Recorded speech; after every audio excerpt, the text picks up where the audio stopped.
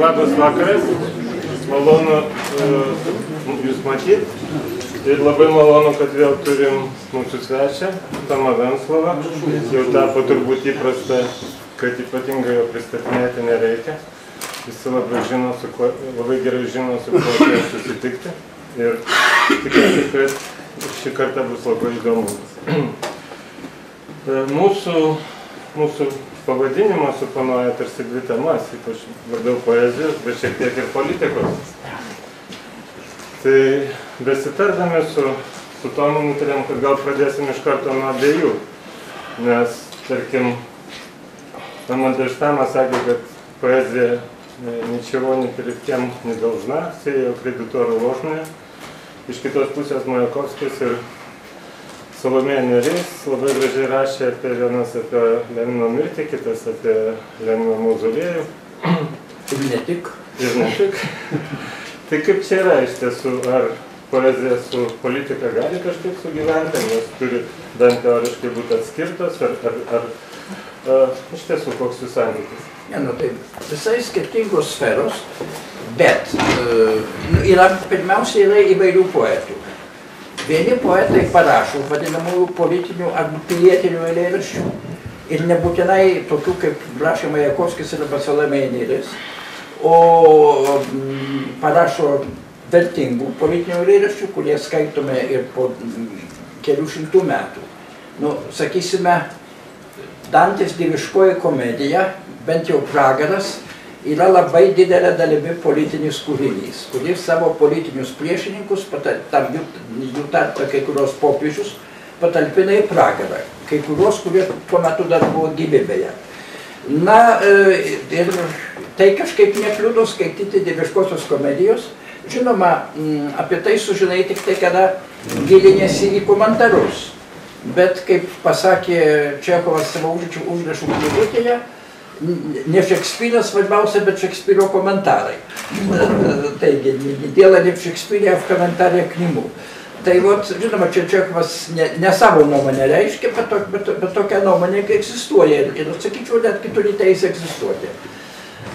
Ir Dantė, ir mm, daugelis kitų viduramžių renesanso autorių, ir XIX amžiaus autoriai, nusakysime, Mitskevičius. Konradas Valenrodas yra politinė poema kuris siūlo politinį receptą, kaip reikia kovoti. Štai yra ir toks kovos būdas, kurį pasirinko Konradas Valendrodas. Na ir dėl to buvo visada Lenkijoje buvo daug ginčių, ar tas valendrodizmas pateisimas ar ne, arba kiekis pateisimas, arba kada pateisimas, kada ir nepateisinamas. Pas mus labai daug aiškinosi, kad jie buvo, buvo valendrodai, kad jie tarnavo bolševikams, bet, bet iš tikrųjų Lietuvai arba kad tarnavo naciams, bet iš tikrųjų žinoma Lietuvai. Arba kad tarnavo netgi, sakysim, carui, bet iš tikrųjų Lietuvai. Kai kuriais atvejais gal ir taip, bet toli gražu ne visais atvejais. Kiekvienas toks atvejis turi būti sprendžiamas, turi būti pasvėrus visas aplinkybės. Na, mm, vot Mickevičius, arba sakysime, kad ir XIX amžiaus daugelis Rusijos poetų, kad ir mūsų poetai, Maironio tiek ir tiek yra politinių eilėraščių. Žinoma, dažnai nelabai gražių ir nelabai gerų. Geriausi jo eilėraščiai vis dėlto kitokie, bet yra ir tokia eilėraštis skirtas e, tuometiniams Lietuvos Lenkams, kaip ten, oičizna jums rūpi, ne žemė tėvinė, maitinanti jūsų pilvus. Nu, ar storus pilvus, teisingai, jūs geriau atsimenat. Yra, yra tokių dalykų ir kartais tie eilėraščiai turi vertės, toli gražu ne visada. Labai liūdna, kada rašomi eilėraščiai, taip sakant, žalingiems personažams pagarbinti. Kartais jie būdavo rašomi ir nuočiūčiai, bent jau dėl, dėl Majakovskio galima būti daugiau mažiau tikru, kad jis rašė nuočiūčiai, bet tai, tai reikalo negelbsti. Bet Majakovskį aš mėgstu, jis buvo labai stiprus ir, ir labai išradingas ir labai įdomus poetas, bet ne jo politinė, taip sakant, lyrika, o veikiau ankstyvąją. Kartais ir, ir vėlyvosios būdavo įdomios, be abejo būdavo. E, sakysim, tas pats Josipas Brodskis yra man pasakęs, kad e, iš Majakovskio aš labai daug išmokau. Pirmiausia, humoro. Jis turėjo puikų humoro jausmą.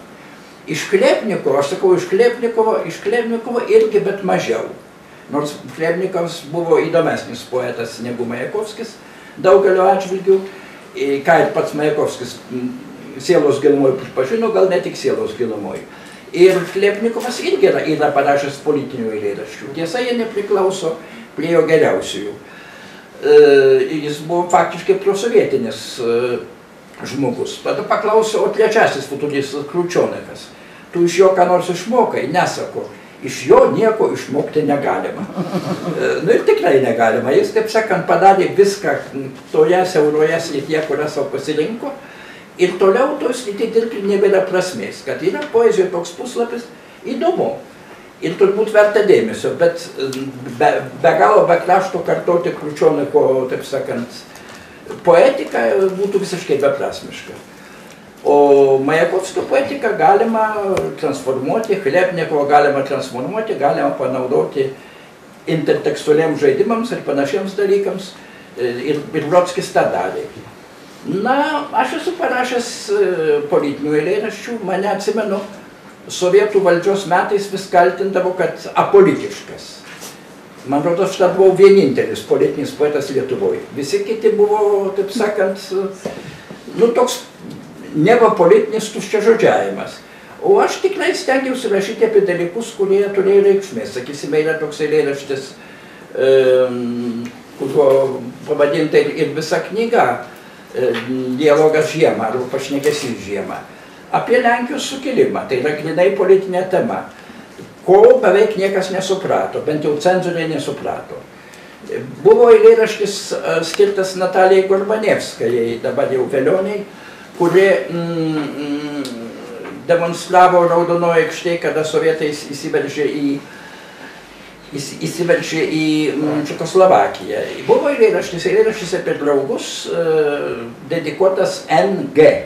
Dabar jau aš duodu pilną dedikaciją, o tada daviau NG ir įžūrai nunešiau į poezijos pavasarį. Ir jis ten buvo spausdintas. Kadangi, taip sakant, mano eilėse netaip jau lengva susigaudyti, apie ką eina kalba, Rusijoje būtų susigaudę. Lietuvoje niekam per daug tie dalykai, tiesą pasakius, ir nerūpėjo. E, rūpėjo grinai e, vietiniai dalykai, tautiniai ir panašus, o Čekoslovakija, nu, kai kuriems rūpėjo, bet, sakysim, cenzoriai tikrai kažkaip to įrėdžių nesuprato. O kada, kada dabar jis skaitai, aš manau, gali pajusti apie ką jis ir e, jo, taip sakant, tam tikrą politinį užtaisą. Bet ne tik politinė, eilėraštis turi būti tiesiog geras eilėraštis. Nu, dabar pa, pačiu pastaruoju metu buvo vienas grinai politinis eilėraštis skirtas Krymo aneksijai ir Donbaso karui. E, atokipis užtruko neilgai, kuris yra šitoje knygelėje. E, apie Vladimirą Vladimirovičių Putiną ir jis parašytas truputį Kavafo, truputį e, Česlovo Milošo manierą. Tai yra veiksmas perkeltas į ne visai aiškius laikus, E, tarsi renesanso, tarsi antikos. Ten minimos mozaikos, e, kolonos, arkados, galeonai, kurie gabena prieskonius, čia jau nebe antik, čia, čia veikiau renesansas. O reiškia taip, atrodo, kad gyvenimas klesti, viskas tvarkoje, galima, taip sakant, atsikvėpti, iš tikrųjų negalima, iš tikrųjų Kaligula yra čia pat. Mm. Čia pat ir e, dėja tie kaip aš rašau, išjuokti bepročiai pranašai, kelintą kartą pasirodė teisūs. Tuo, tuo žmonės, kurie kada po komunizmo žlugimo kalbėjo, o ne, Rusija dar atsigaus ir dar mums parodys, ir dar visam pasauliu parodys, aš juos vadinau bepročiais pranašais ir aš juos išjuokdavau, bent, bent jau draugų kompanijoje, kartais ir viešai. Deja, jie pasirodė teisūs. Ir, nu, aš vėlgi sakau, kad aš netikiu nei vienos tautos į, įgimtomis įdomis. Netikiu ir rusų tautos polinkių į imperializmą arba aplinkinių kraštų grobimą arba kitus dalykus. Netikiu. Manau, kad kiekviena tauta, taip sakant, galų gale nori to paties. Tai yra laisvo ir pagal galimybės ramaus gyvenimo. To nori rusų tauta. Ką jį parodė kada griuvo Sovietų, kada griuvo Sovietų sąjunga. Lietuva nebūtų išsilaisvinusi be tokio geranoriško rusų tautos neutraliteto, kuris tuo metu buvo. Šiuo metu jo lyg, ir nėra, bet irgi, nu, jeigu jau praeitų lyg ir rimtų dalykų, dar nežinau, kaip ten būtų. Tai tiek galiu atsakyti. Yra poetų, kurie apie politiką niekada nieko nerašo ir turi pilną teisę tai daryti. Tiesiog tokia jų talento kryptis. Yra poetų, kurie kada nekada parašo ir irgi turi teisę tą daryti, na, aš priklausau prie pastarųjų. Na ir ką mes tada darom, kartais realiam gyvenime, tas, manau, kad šitą prieš priešą, šitas prieš pastatymas gal jisai tinka ir kai sakoma, kad ne, nepainiokim kultūros ir politikos, kiti, ki, iš kitos pusės matosi, kad neįmanoma jos nepainioti, nes viskas gyvenime susiję ir labai lengvai susisieja. Talentingas režisierius, talentingas dirigentas gali diriguoti Osetijoje ir to visiškai su politika nesusijusi kūrinį ir tai pasidaro politika. Ir tas be abejo. O antra vertus, talentingas violončelistas gali groti ant Berlyno sienos grūvėsių ir taip pat tas susisieja su politika, tik tai truputį kitokia. Tai, tai ką, ką mes darom? Žinom, kaip, e, kaip Sovietų sąjunga, kaip nacijų Vokietija preparavo savo istoriją, kultūros istoriją, literatūros istoriją, kaip keitėsi dažnai įvairiom aplinkybėm įvairiose šalise paminklai ir atrodo, kad panašius klausimus sprendžiam ir mes.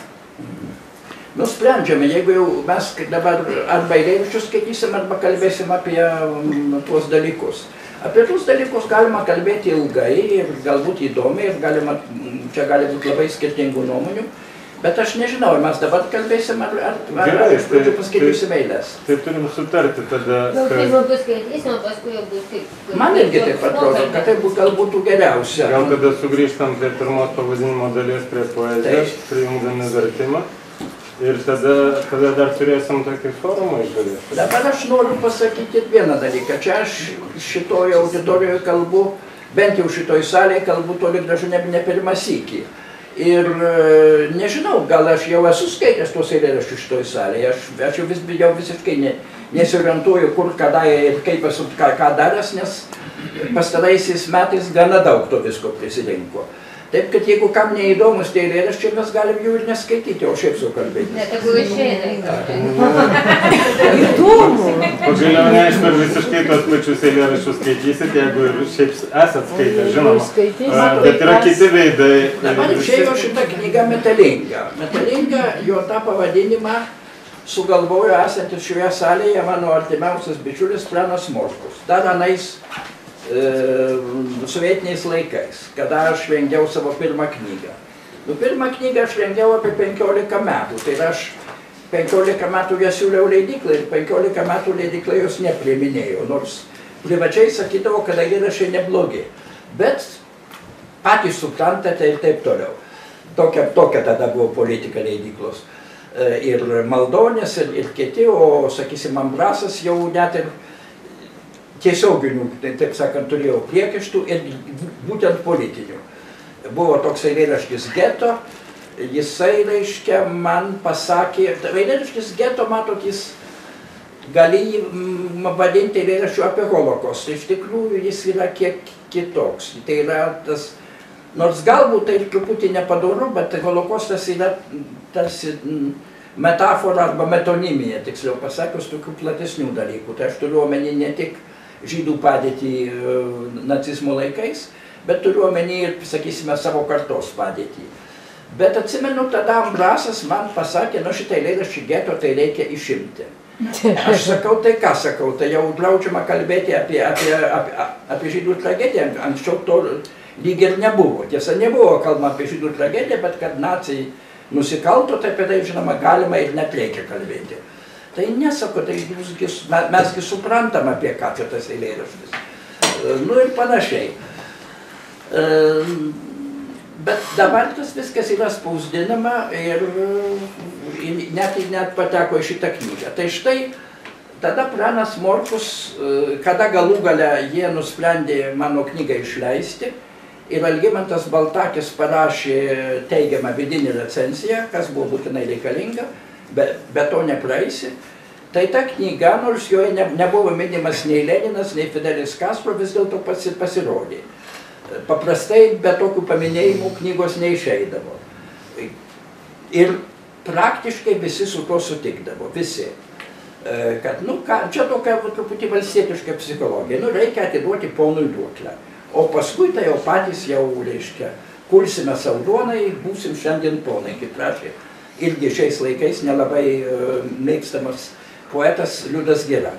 Na, mm, man kažkaip tas, to, tokia, tokia pozicija buvo neprimtina ir aš išleidau knygą, pirmąją knygą, nu pačią pirmąją išleidau, kurios man lygi, lygi, lygi šios dienos gėda.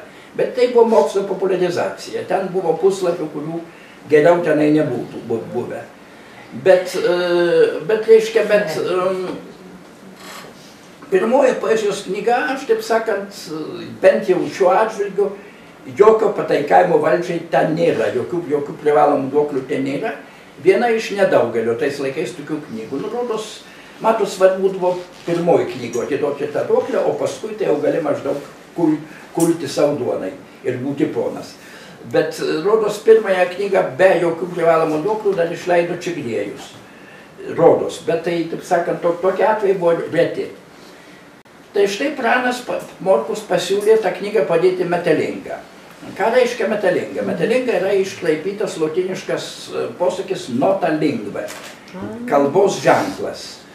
Nes e, senose mokyklose, turbūt tiek caro mokyklose, tiek lenkiškose, būdavo, reika, reiškia, būdavo reikalavama kalbėti tą privalomą kalbą, arba rusiškai, arba lenkiškai. O jeigu kas iš kaimo bernelių prabildavo lietuviškai, tai jam pakabindavo ant, ka, ant kaklo tokį, tokią lentelę, kuri net yra knygos viršelyje. Tai yra realiai tokia tų laikų lentelė iš Kauno pedagoginio muziejaus. Ir, mm, taip sakant, štai tasai, kuris nešioja tokį gėdos ženklą, kalba ne tą kalbą, kurią reikia. E, Ir be to tas labai skatino, labai skatino tą vadinamą rusiškai sakant stukačistvo arba įskundinėjimą.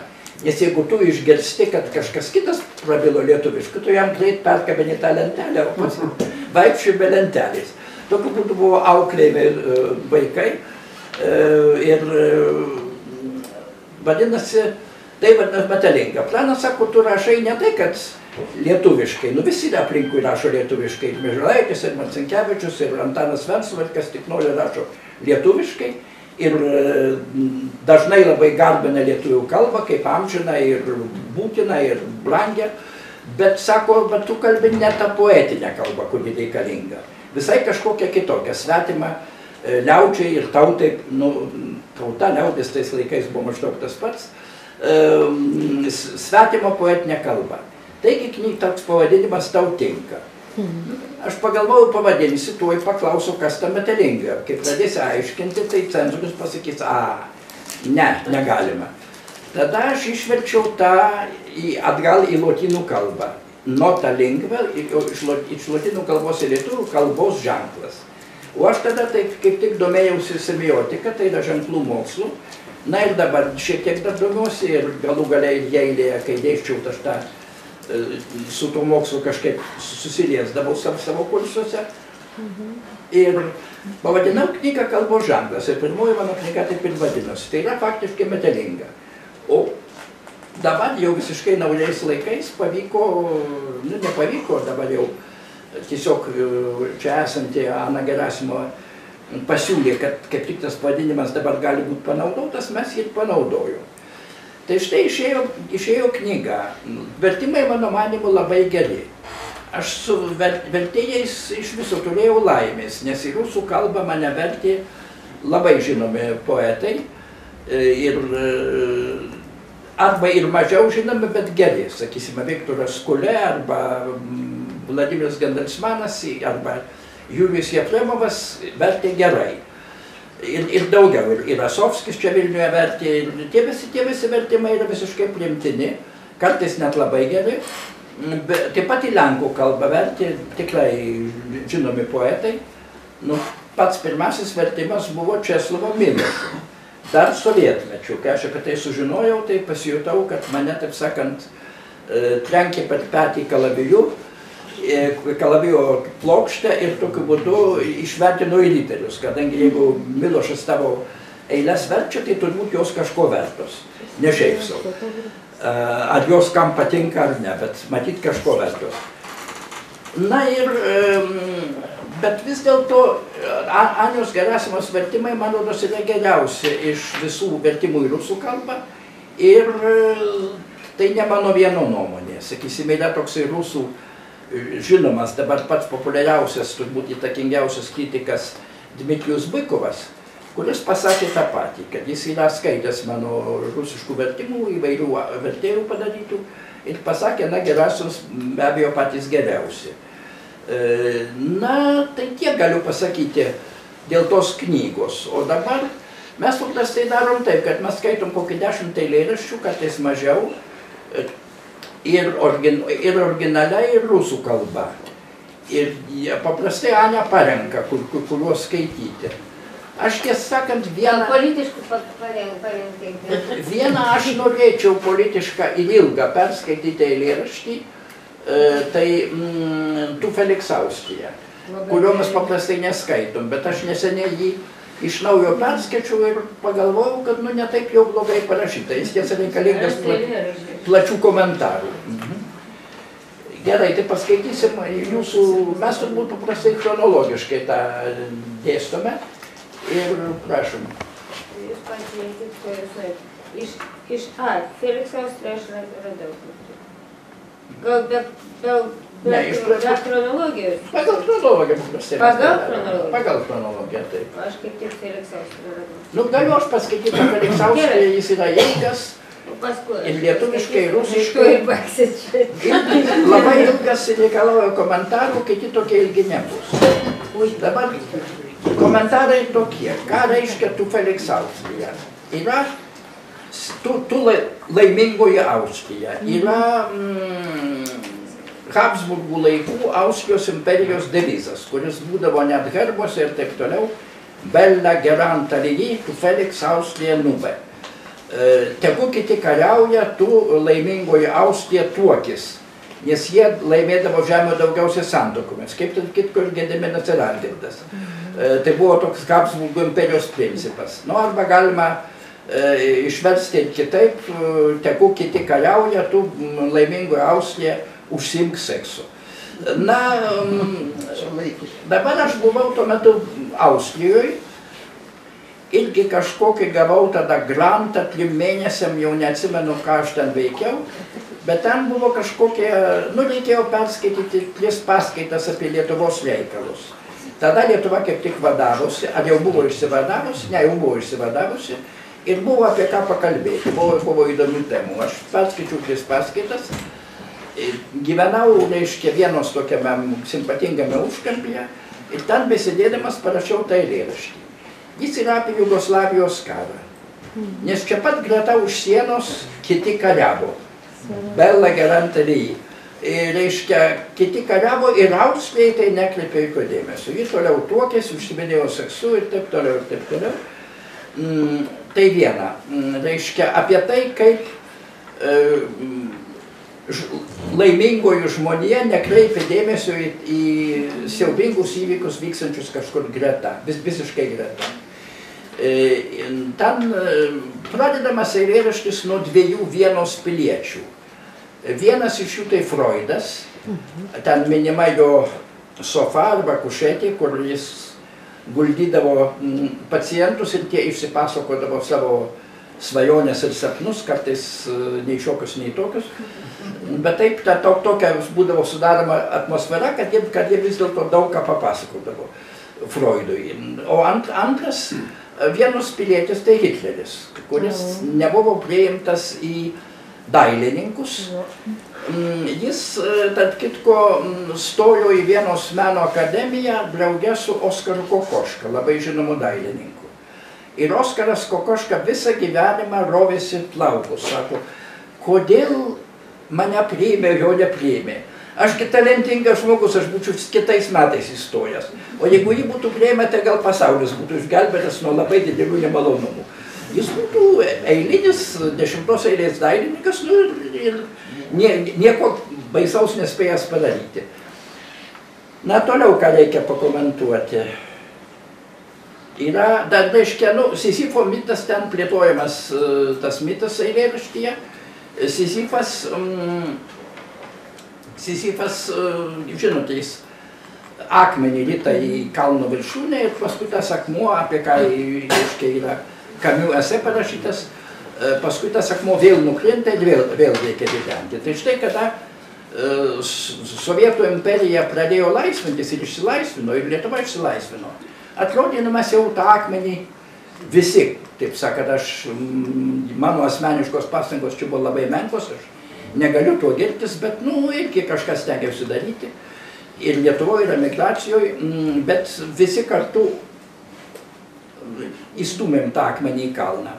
Ir štai Jugoslavijos karas. Nu, o vėliau, kaip žinote, vat, Krymo, Donbaso karas, Osetijos galų gale ir Gruzijos karas, tokie dalykai, akmuo vėl, vėl nulėdėjo, vėl, taip saka, neaišku, kas bus. Dabar dėja, kuo toliau, tuo neaiškiau, kas toliau bus. E, na, dėl Sizifo, ten eonai minimi, eonai, tai eonas tai labai ilgas laiko tarpas. Mm. Toliau kalbam apie, apie bėglius, apie Fransą Ferdinandą, kuris buvo nušautas mhm. serbų um, teroristo Gavrilos principo. E, kažkur ir, ir, ir nuo to prasidėjo pirmas pasaulinis karas. Ir kad faktiškai ta Franco Ferdinando era tebe trunka. Francas Ferdinandas, nu turbūt dėl Gavrilos principo kažkur esu irgi parašęs kažkokiame ese, kad 20 amžiui dėja pralaimėjo visi. Nu, laimiai pralaimėjo Hitleris, Stalinas, Leninas ir Hitleris. Pralaimėjo Juo, Pranciškus Juozapas, Nikolojus II ir Vilhelmas II. Pralaimėjo, dėja pralaimėjo taip pat Gandhi, Sakarovas ir, ir Nelsonas Mandela. Visi pralaimėjo. Laimėjo vienas vienintelis žmogus Gavrila Principas. Nes jo principas čia toks kaip ir žodžių žaismas prašosi, bet jis yra per daug akivaizdus, kad daryti tą žodžių žaismą. E, aš ten rašau, kad tai būtų labai blogas kalambūras. Gabrielo principos, principo principas lieka. Lieka, taip sakant. Ir, ir kaip, kaip matome, jo kuo toliau, tuo daugiau. Kad tautos vardan galima daryti nusikaltimus. Tautos vardan galima užmušti Fransą Ferdinandą, užtat Serbija bus laisva. Nu, ji liko laisva, bet pake, pakeliui žuvo keliasdešimt milijonų žmonių, tame tarp ir serbų. Na, savo sėklą sotinas Saturnas, tai jūs žinote, kad dievas Saturnas arba Kronas e, ryjo savo vaikus. Po to ten jie buvo, mm, buvo išvaduoti, kaip raudonoji kepuraitė iš vilko mm, pilvo. Manoma, kad raudonos kepuraitės istorija tai yra to paties mito variacija. E, mitas taip pat, e, mitas taip pat e, aiškinamas chronas yra laikas. Laikas, kuris lyja viską. Mhm. Toliau vėlgi teisus ne Hegelis, o Galilėjus, Epur Simove. E, reiškia, tada buvo labai populiari Fukuyamos teorija, kad istorija sustojo, kad istorijos nebebus. Tai yra nebebus įvairių nemalonumų susijusių su istorija. O Galilėjus pasakė, ji vis tiek juda. Žemė. O čia aš pritaikau istoriją. Istorija ir toliau juda ir dėja jinai nesibaigia. O turbūt ir viskas, ką čia reikia papasakoti, bet kaip matot, labai ilgas komentaras, ilgesnis už patį eilėraštį. Nu, žinot, apie vieną Mandelštamo eilėraštį, toks didė, žymus slavistas, dabar jau miręs Omri Ronenas, parašė 400 puslapių knygą apie vieną eilėraštį. Nu, taip jau būna. Dabar ir apie Videnskį taip parašė Maskvoje tokie A, taip. Apie Elegiją Vedenskio labai storą knygą parašė žmonės apie vieną elegiją. Aišku. Nu, elegija yra nu, nu, nuostabus eilėraštis. Mano manimo geriausia, ką Vedenskis iš, iš viso parašė. Mm, gerai, nu, tai dabar tas Feliksauskė. Mm, toliau tokių plačių komentarų nebus. Bet tai yra grinai politinis eilėraštis. Šiame mieste, kuriam apkarto gelbėti žmoniją, kur pora neurastenikų pagijo kabinete gličius sapnus, per jėgą išpažinusių ant sofos ir mirtį šaukė senstančios Europos nemylimas sūnus, taip nelemtai nepriimtas į dailininkų luomą. Vertatas vandenį linguoja luota ir supasi krantai po dvigubą kaštonų grandinę. Kaviniai koščiulė pernykštis rokas ir negriuvėsiai, o svarus barokas su balkone įstrigusią žvaigždę tau liudija šalies puikybę. Ritmas paverkęs smegenis, įvystį rytas įlinkęs oras ties aikštę. Jos kaip romato kelio kroros žengs ir parpulsi ir padeda tik muzikos ir pulso amalgama. Ankiai nuo debesų spalvos, blendi po arkomis, beveik sutapęs, su dulkim granitu, alyvų lapais, nerasdamas kalbos su šia darna, bet staigiai išblokštas iš savo laiko, dar nesuvokdamas, ar tai nelaimė, ar dovana. Netitiesdamas liemens, Sisifas gauna pailsėti kalno viršūniai, baugiai atitraukęs delną nuo blizgančio akmens, naštos, kuri į tiek eonų grūdino ir ardė, dabar įgrimzdusi žvilgšte bevardė ir nejautri. Saulėta ir ramu, erdvei putoja žydintis arškėtis ir pirmąsyk nereikia galinėtis su likimu ant itnaginio statmeno peties, žarstyti žolę, lupinėti, slysti ir po akimirkos išdils jaunystė iš atminties. Ir jeigu bent nutrūkęs sakinys dar prumščia sielą, tai gal tik standus varpų dūžiai, bela gerant ir jei naktį į jūrą leidžiasi vargingas plaustas, kurį toliau parblokš įdūkęs austras, ten žus kiti, ne mes. Išblunka kraujas virsta dulkim tankas, era pasibaigė ir maras rankas naujas žemės. Į tą pasienio stotį, kur ugnis erdvės sesuo, kur Kristui arba Mozei atsikerta kalašnikovų morzė, jau neina traukinys. Barokinis dangus virš Habsburgų tvirtovės nusileidžia, tik už akėračio, kur oras žaidžia, kur įduboje glaudžiasi žmogus, apirusios kalnuos, kur švinas mėsą taip lengvai suranda, nėra spragos tarp Frans Ferdinando ir šios dienos. Skeveldrų išardyta lapija, pajudusių gipsų užlipdo burnas ir savo sėklas sotinas Saturnas, kaip amžių pradžioje. Ir vis dėlto ne čia, į luitą lydo išnaktas ir rytą, pranaukusi mirtingiems lemtą ribą kančia.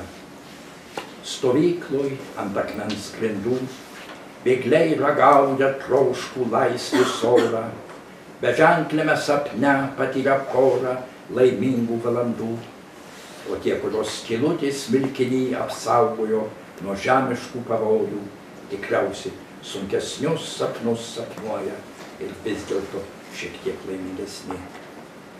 Mirtis ne čia ir visada šalia, ją vis tiksliau atliepia varpo tonai, į granite kaitroj, vyne ir duonoj, kaštonų ir akacijų tink tinkle, sapnuos, istorija mirties dalis, teisus ne Hegelis, o Galilėjus, pur simovė, kurčias apanglėjas pasisuka į tamsą rutulys.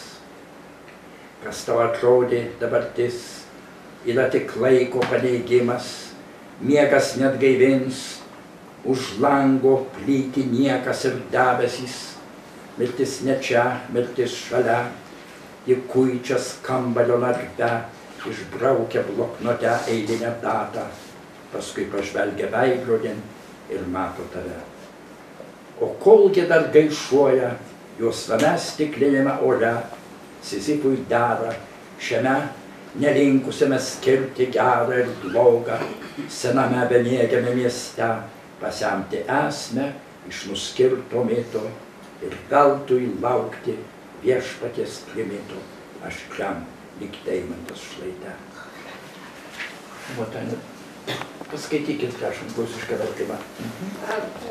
Čia buvo ne, nelengvas užduotis šitą eilėraštį išversti, nes čia toks labai įdomus ritmas И раз 4 вписывается, начнете считать слоги. Вот так вот, раз, два, три, четыре, пять, шесть, семь. Ага, там тут 13, тут семь.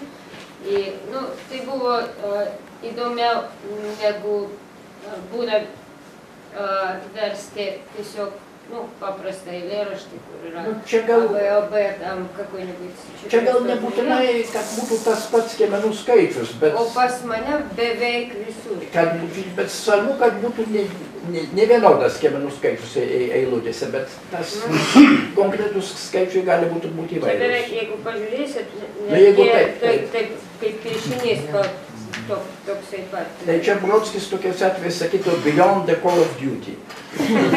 Daugiau negu iš jūsų reikalaujama. Taigi. Сей чудный град зарекся печься о людском спасении, где исцелился неврастенник и психопат, поведав по неволе сны на той кушетке под неяркой лампой, где смерти жаждал нежеланный стареющий Европы сын, неладную порой не принятый художниками в долю, каштаны цепью строятся двойною над городской рекой. Кишит водоворотами вода, и кашляет кафе вчерашним роком, развалин нет, увесисто барокко, упала на балкон звезда, спокойствие и процветание знак, а звук мозги заполоняет ритмом, и площадь, распахнувшимся зенитом, терзает зрак, такую тянет синеву, что, кажется, вдохнул и захлебнулся, лишь амальгама музыки и пульса удержит на плаву.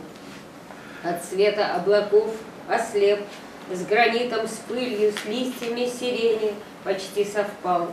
В отще стихотворения любой язык нелеп.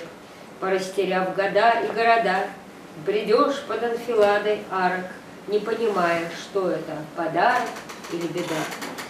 Вершину покорив, отняв с ладони, от камня, что премногие ионы пытал и закалял его, Сизиф, не разогнув хребта, сидит. Вокруг цветет альпийская поляна, и ноша неподвижно, безымянно, в траве блестит. Здесь солнце и покой, кипит ликующий шиповник, И ни к чему тягаться с ровней судьбой, Скользить, топча кремнистый склон, Хвататься за траву и спотыкаться, Вот-вот проступит молодость сквозь панцирь, Сквозь слой времен. Речь из числа утрат на полдороги ослабела, Так пусть колокола исполнит Белла Герант, И если по волнам некрепкий плод пустился среди ночи, И автор его перевернуть захочет, Другие сгинут там, не мы. Кровь выцветет, и пылью танки станут. Эпоха кончилась, другие стонут страны под гнетом тьмы. Уже на станцию не ходят поезда, Ту, где сестрой пространство стало пламя, Где бьет Калашников очередями И Моисея, и Христа. Барочный небосвод над Габсбурговой высится твердыней, Но там, где горизонт кренится дымный, Там, где во врагах прячется народ, Где корчатся холмы в огне, И долго дичь свинцу искать не надо, Там два шага от Франца Фердинанда До наших дней.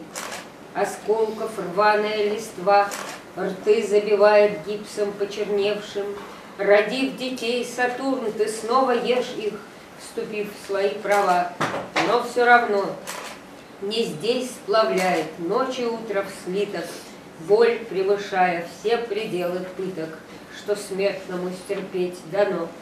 На каменном полу в чужом краю, Дыша желанным воздухом свободы, Спят беженцы, забыв свои невзгоды, На два часа в раю, А те, которых вовремя спасло Отверстие в виске от лишних тягот, Со снами непростыми в землю лягут, И все равно им больше повезло. смерть вечно рядом, никогда во мне. В колоколах умеют отзываться, в тени каштанов и акаций, в граните, зное, хлебе и вине, во снах. История лишь смерти часть.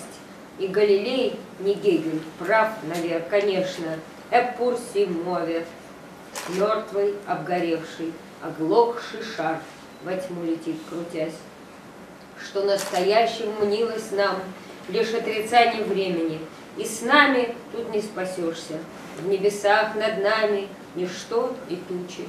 Смерть не здесь, она поодаль, занавеску теребя, в календаре вычеркивает дату и в зеркало глядит, и видит брата тебя. Пока же мешкая она стоит в стеклянном черном воздухе Сизифу, осталось лишь повиноваться мифу, а старый город бдит, не смыкает глаз. Добро от зла и рай от преисподней не отличить, не ждать трубы Господней на склоне остром, как алмаз.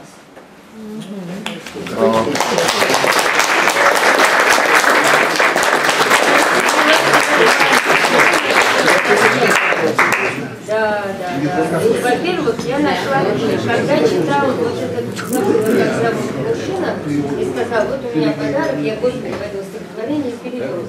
И я подумала, что Семен Семенович, у меня же есть этот перевод, и я просто его забыла. А второе, я, я не знаю, вот я это, ну, это сравнила сейчас, послушайте, список Будем его хотите читать? Есть два стихотворения, которые точно нигде никого не читали. Ну давай.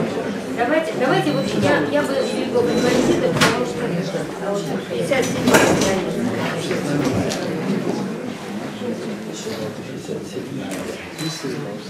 Pasiekus Atlantidą. Eilėraštis apie tokį rytprūsių miestelį, kuris vadinasi Piliava lietuviškai, Pilau vokiškai ir Baltyskas dabar vadinasi vadinamojo Kaliningrado srityje. Miestelis tas buvo uždaras, jį nebuvo, nebūdavo galima patekti, vienu tarpu, dabar turbūt jau vėl nebegalima, bet vienu tarpu jis buvo atidarytas. Aš buvau Buvote. Kada seniai? a, prieš keletą metų. Nu taip pat, aš irgi buvau prieš keletą metų ir, nu, prieš jau prieš 15 metų, čia 2002 metų eilėraštis. Ten lankėsi Josvas Brodskis, e, buvo pasiustas kaip vaikų žurnalo korespondentas, ten buvo kažkokia sportinė tema, reikėjo atspendėti tame žurnale, E, rung- e, rungtynės vyko, rodos, tam Baltysko mieste, jis gavo leidimą, jam buvo labai įdomu pasižiūrėti bu- buvusius rytprūsius, jis ten nuvažiavo, parašė kažkokį felietoną į vaikų žurnalą, bet kartu parašė ir keletą eilėraščių. E, Na, mm, Kaliningrade arba Karaliaučiuje atsirado keli, tarp kitko jūrininkai, karininkai, rusai, kurie susidomėjo Brodskio apsilankimu e, tenai ir ištyrė, kur ir kada jis buvo. Nusprendė prikalti ten Namalian Ledantą, kur jis gyveno. Ir prikalė po kiek laiko. Buvo ten pasipriešinimo, kad, kad neverta, kad, nu, pirmiausia, žydas, antra, reiškia, ką jis gero padarė mūsų šaliai ir taip toliau, ir taip toliau. Ten tie karininkai bandė įrodinėti, kad padarė kai ką gero, taip sakant, išgarsino tą šalį gerokai, gaudamas Nobelio premiją. Ir, ir galų galę įrodė, galų galę, taip sakant, buvo leista jiems talentą prikalti. Ir jie mane nusivežė parodyti tų vietų, man buvo irgi labai įdomu. Nu ir čia yra toksai eilėraštis, e, tai reiškia apie tokį tarsi susitikimą su jau mirusiu bičiuliu, mirusiu prieš šešerius metus, su Brodskiu tenai tame Baltyskė. Dumpluotam kaupgalį vaidenasi angaras, jūreiviams nesvarbiai nuskendusi šalis, o ypačiai dabar, kada užtrukęs karas ir jų imperija išardė į dalis. Beliko reginys iš viešpučio valgyklos, šviluoja kateriai, artėjanti žiema, užuolaidų plyšiuos tamsesnį negu stiklas, aptiškęs betonu pagardintas žemė. Raudonas švyturys, kaip ir kadaise, grasnas, tvirtovės kontūras beveik nebežymus, ant molo plepešasi žvaigždos, patvaresnės už ketų akmenį ir žinoma už mus. Sustok ir užsimerk, keleivio žingsniai dupsi gatviukščių smėlyje. Jau perdegė rega, mes prasilenkiame. Vis vien, kur, kur atsisuksi, be orė įlanka ir eros pavaika. Jonažoliai, dagys, linea, boralis, šlapia taušvaitas skilėtam metale. Kits kitą matome, kaip mato visagalis. Abipus prarajos, tačiau beveik šalia šiam jūros prieangiai, kur seklumos aptirpo, tarytum gedulas išbluko juos gana farvaterio dėmiai, bet po delnais tarp virpa neturtas, lapkritis, gramatika, liepsna. Nu, lapkritis dėl to, kad Brodskis ten buvo lapkričio mėnesį, neturtas jis tada buvo labai neturtingas, gramatika dėl to, kad poetas dirba su gramatika, nu, liepsna, liepsna. Tai dabar tiek. Mhm. Vienam iš tų vakarų, kurių mes padarėm Maskvoje pavasarį, kai Tomas atvažiavo šit, šitos knygos prezentacijai, vienam iš tų vakarų, paskui paskutiniam, išėjo toks žmogus, kaip jo vardas, vėl neatsimenu, jis sako, о, аж у меня вот есть подарок, я тут перевел одно стихотворение, которого никто еще не переводил, э, и э, э, я, я переводил его целый год. И стал читать прекрасный перевод. Ir staiga aš supratau, kad aš išverčiau, išverčiau šitą eilėraštį, bet pamiršau įdėti į knygą. Nes tiek buvo tų redakcijų ir, ir tiek buvo tų, tų visokių keitimų ten taip toliau, kad aš tiesiog pamiršau. Kaip jau buvo vardas? Škarinas. Škarin? Škarin. Pėtė, если не ошибаюсь, Pėtė, Pėtė Škarin. Tai buvo, jis Niuhaivene gyveno kurį laiką, bendravo su manim, su, man, su mūsų šeima, jis rašo pats daineles ir labai labai talentingas, labai talentingas. Visi, kas verčia, visi rašo daineles. kaip sakot, Visi, visi jūsų vertėjai rašo daineles. nu ne visi. ne visi, bet jis, jis rašo. Jis rašo ir man, man labai patinka tos jo dainos. Jis irgi tokius, grinai privačiai, viešai jis niekad ne, ne, nedainuoja, bet, bet privačiuose būtuose daro koncertus. Ir štai jis išvertė štai tą, žinot, ir, ir memorijam Henkus Kapenčkus, kurį labai sunku išversti. Dėl dviejų priežasčių jis labai e, įmantriai sulimuotas, tai viena. O antra, kad ten aprašoma asmenybė, kurios niekada nebuvo ir negalėjo būti. Ir reikėjo sugalvoti jai visą pasaulį, kuris ją siaučia, panašų į mūsų pasaulį, tai tarsi toks e, vaiduokliškas Kaunas, kadangi tas Henkus gyveno matyt Kaune tai yra negyveno Kaune. Ir kažkokia prasme ir dabar jame gyvena ir negyvena. Tai vat, o kaip sako budistai, nebūtis yra daug sudėtingesnis dalykas negu būtis. Ja prašyti žymiai sunkiau, tikrai žymiai sunkiau. Tai bet štai jis išvertė iš Katinas ir tikrai labai neblogai padarė vertimą. Mhm. Taigi aš e, į, į naują šitos knygos leidimą, aš jau e, nežinau, kiek buvo tų leidimų, visi leidimai labai nedaug ne, ne, ne egzempliorių, ten 300, vėl 300, dar 500, dar 100, dar, dar 100, dar 500 ir aš jau nežinau kiek, bet už, už viską aš, aš turiu mokėti. Nu gerai, Ugrigok Atlantyrė. Над илистой водой, за призрачным ангаром, Утопшую страну не ищут моряки, Тем более, когда охвачена пожаром, И их империя распалась на куски. Зима глядит в окно гостиничной столовой, И дремлют катера, боками шевеля. Сквозь щели жалюзи сочится свет лиловый, А на стекле бетон и грязная земля. На пристани маяк, как прежде коренастый, И контур крепости неясен и размыт, И чайки на малу устойчивее к ненастью, Чем камень и чугун, и чем, конечно, мы.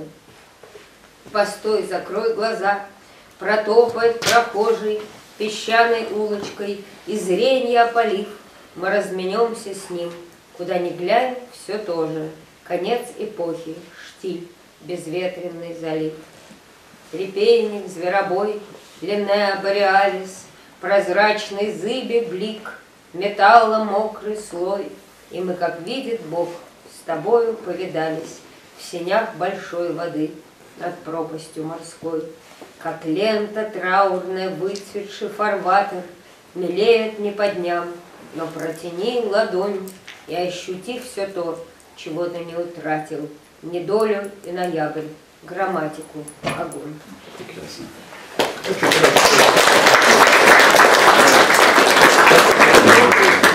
Будем э, вот это. Давайте почитаем это тоже. И баталья Тоже не, не вошло предыдущее издание. Только некас негердеев, тогда и то вертимо. А ваш пац негердеев. Юс гердеев, юс кайпет.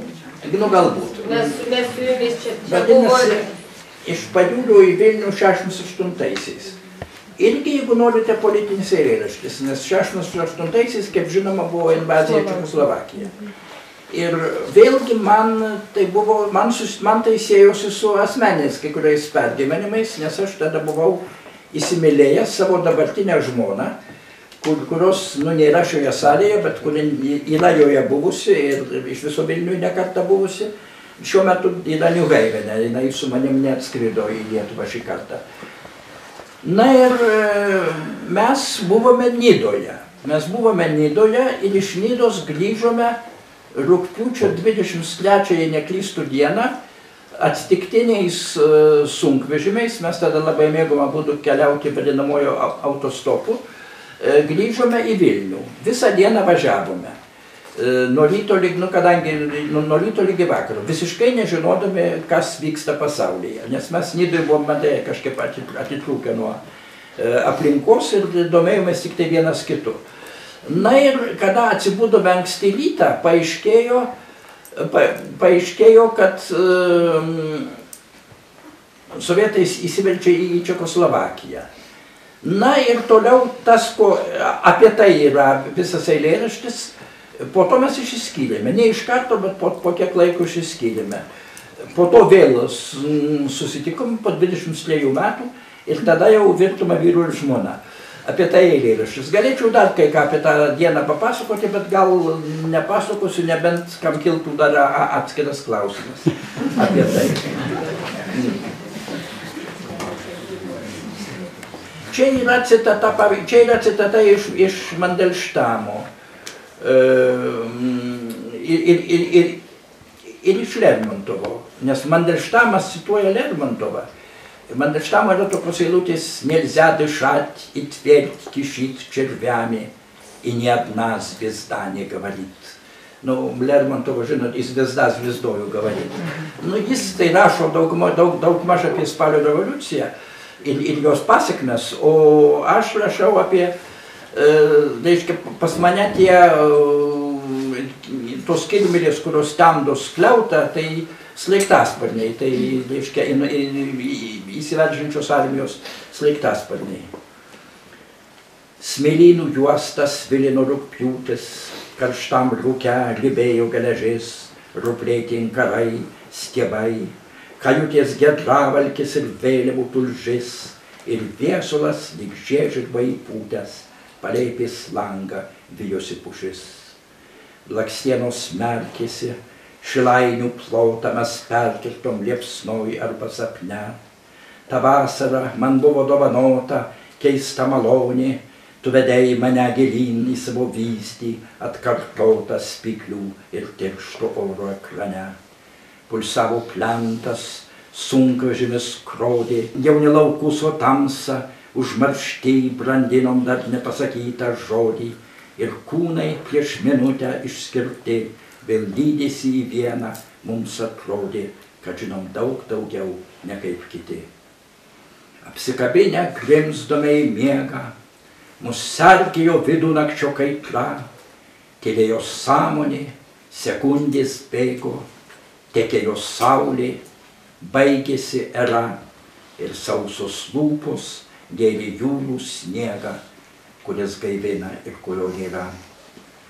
kai gaudesys prasikalė pro keutą, kur kas arčiau nei guolio atkaltė, žiojėjo grūvenos, padangius keutė ir apipūs debesio plūdė, straiktasparniai kaip kirmys, tamdys kliautą ir neprabilo nei viena žvaigždė. Už šimto mylių greudėjo betonas, lyg lėtas maras, smelkėsi mintis, pasaulis, kur apkursta telefonas, melu ir plėnims plinksta dabartis, o šarvučius, jų vardas legionas, rikiuoja reguliuotoje mirtis. Jos galę garsino trimito varis, ant deivės vargščio draikėsi gyja, kartodama, jog nesame nemarūs, jog užgimėm laikų pabaigoje, jog krupadausos ir nusenka marios ir vaiko lopšį supa vertyje. Atspėjome, jau viskas atsitiko, tikrovėje sudėstyti taškai, prarasdami jaunatveniai skatiką, mes skyrėmės ir tu dar nesakei, kad visa tai ilgam, kad mums teliko atšiaurūs miestai ir trumpi laiškai.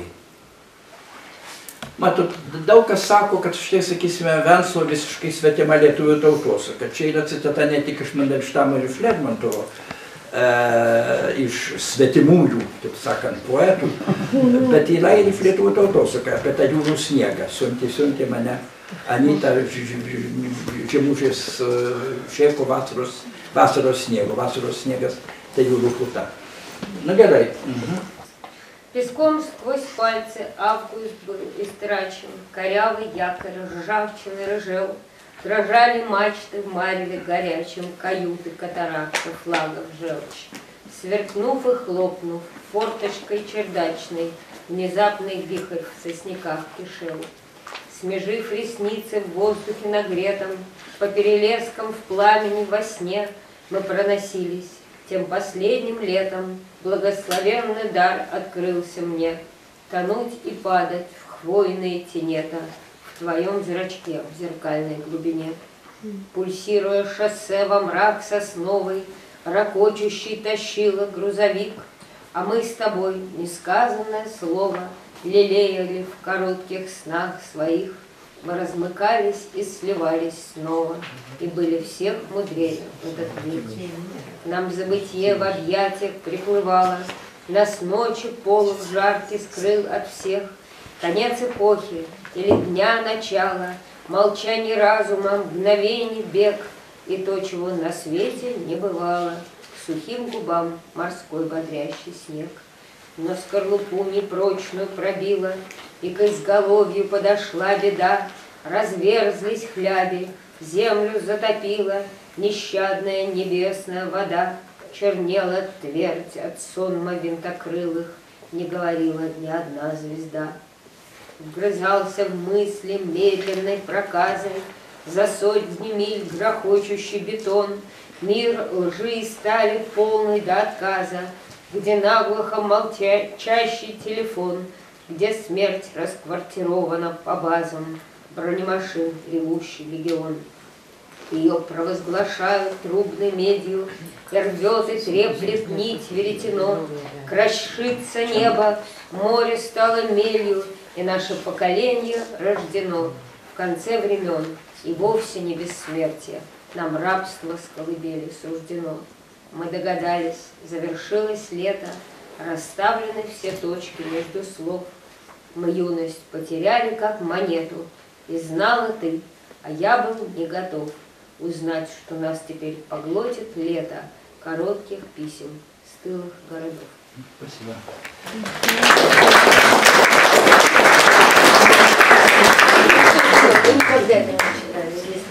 Сейчас. Да, но это тоже политически. Да, вот мы хотим, у нас сегодня политический. Чисто политически. Не будем нормальных стихов читать. А можно еще, кстати, а у вас что, вот, смотрите, тут есть чудо, нормальное стихотворение, про Берлин Мы его уже читали. Про Ламбус канал Шпрей? Про, про, про Халь Шестой. А, про Галя Шестой. Ну, тоже Хорошо, политическое.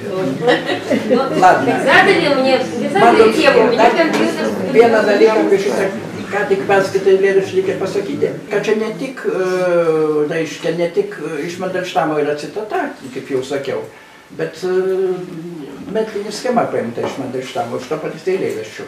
Нельзя дышать и твердь кишит червями, и ни одна звезда не говорит, но видит Бог, есть музыка над нами. Дрожит вокзал от пенья аонит, и снова паровозными гудками разорванный скрипичный воздух. Mandelsštamas, taigi, bet kaip matote, mano paim- paimta ta pati strofa ir ta pati metrika, ir, ir tas pats rimavimo būdas. Ir ko gero aš tą pastebėjau tik tada, kai jau eilėraštį parašiau. Nu tai būna. Mm, dabar gerai, paskaitysim kitą, vėlgi politinį. Jeigu tikrai skaitom, tai politika. Mm. 33. Taip, 33. Berlyno metro Halešas Tor. Apie Berlyno sieną. Matot, tada aš buvau dar, aš buvau politinis emigrantas nu, pasišalinau iš Sovietijos, taip sakant, buvau nustodintas sovietinės pilietybės, kuo labai didžiuojuosi. Ir nes buvau de- devintas toks, iš viso jų yra apie 40. Ten yra Rostropovičius, Liubimovas režisierius, e, Dovydas Geringas galbūt. Ir e, da, dabar po to dar e, Aksionovas, Vasilijus Aksionovas, gana žinomas rusų rašytojas. Bet aš visada sakydavau, nu čia jau kažkokie 30-ieji, 40-ieji, tai jau smuls, tai jau smulkiai, smulki žuvis. O štai pirmasis dešimtukas, tai kaip kosmonautai. nu, tai reiškia, mm, Bet tada man Stasys Lozoraitis dar anksčiau, dar aš turėjau dar kišenėje tą sovietinį pasą, bet išdavė man ir lietuvišką nepriklausomos Lietuvos pasą. Jo nebeturiu Lozoraičio išduoto, bet jis, jis yra išlikęs, bet aš jo ne, ne, nebesinešioju. Į jį buvo, buvo sunku gauti vizas. O dabar turiu normalų lietuvišką pasą, kuriuo taip pat didžiuojasi šiuo metu labiau negu Amerikos pasu. Nors tas gali ir pasikeisti. Dabar... Rusų nenorit pasakyti? Šiuo metu ne.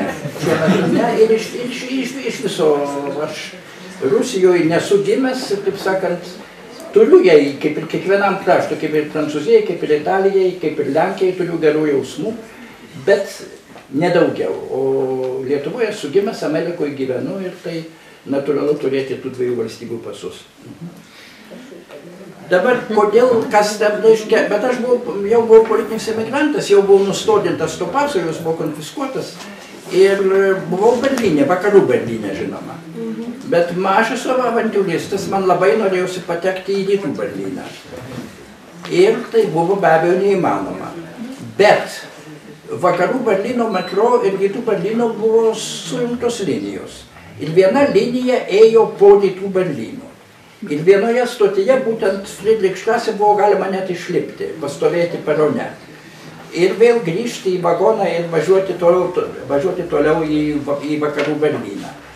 Nu, aš e, nervinausi, žinoma, ir taip jau, sakyčiau, bijojau, blebėjau, bet sakau, nu, vis dėlto reikia, reikia, reikia pamėginti, pabūti tame pasaulyje, kuris mane išstūmė ir, ir kurį aš pats iš savęs visais būdais bandžiau išstumti ir lygi šiol bandau. Na ir um, nuvažiavau metro, staptelėjau tenai Friedrichstrasse, nepaėmiau susimėjęs jokių dokumentų dėl viso pikto, dėl to, kad Friedrichstrasse principė teoretiškai galėjo ir sulaikyti. Bet, bet nesulaikė ir nieko neatsitiko, kitos stotys buvo iš viso uždaros, tai yra traukinys, kurias važiavo, aptas yra net aprašyti, kaip jos atrodo tos stotys. Ir, tad, ir prie Halešės stor vėl patekau į vakarų Berlyną. Tai eilėraštis apie Berlyno sieną, aš turiu tris eilėraštis apie Berlyno sieną. Vieną apie štai šitą Halešės stor, kitą kaip um, Berlyno sieną įveikė viena iš paskutiniųjų, reiškia, tarybinių turisčių. Tai buvo e, Marija Čiapaitytė, daugam šitoje salėje pažįstama. Jinai net nesu, jinai pateko į vakarų Berlyną tuo momentu, kai siena griuvo. Ir ji to nesuprato. Ji to nesuprato. Ji matė, kad žmonės links, linksminasi, bet mane, kad vakaruose visada, kiekvieną naktį žmonės linksminasi. Ir e, toks, reiškia, įvykis aprašytas gana smulkmeniškai viename ilgame eilėraštyje, kuris vadinasi Tvarkaraščiai lapkričio 9. Ir e, ten apie, apie tai, kaip siena griūva, o žmonės dar to nesupranta. Taip kai- kaip mes visi buvom įstumti į naują visiškai pasaulį, į laisvės pasaulį, dar to kaip reikia nesuprasdami. Ir lygi šiol dar nelabai mokame su savo laisvę tvarkytis.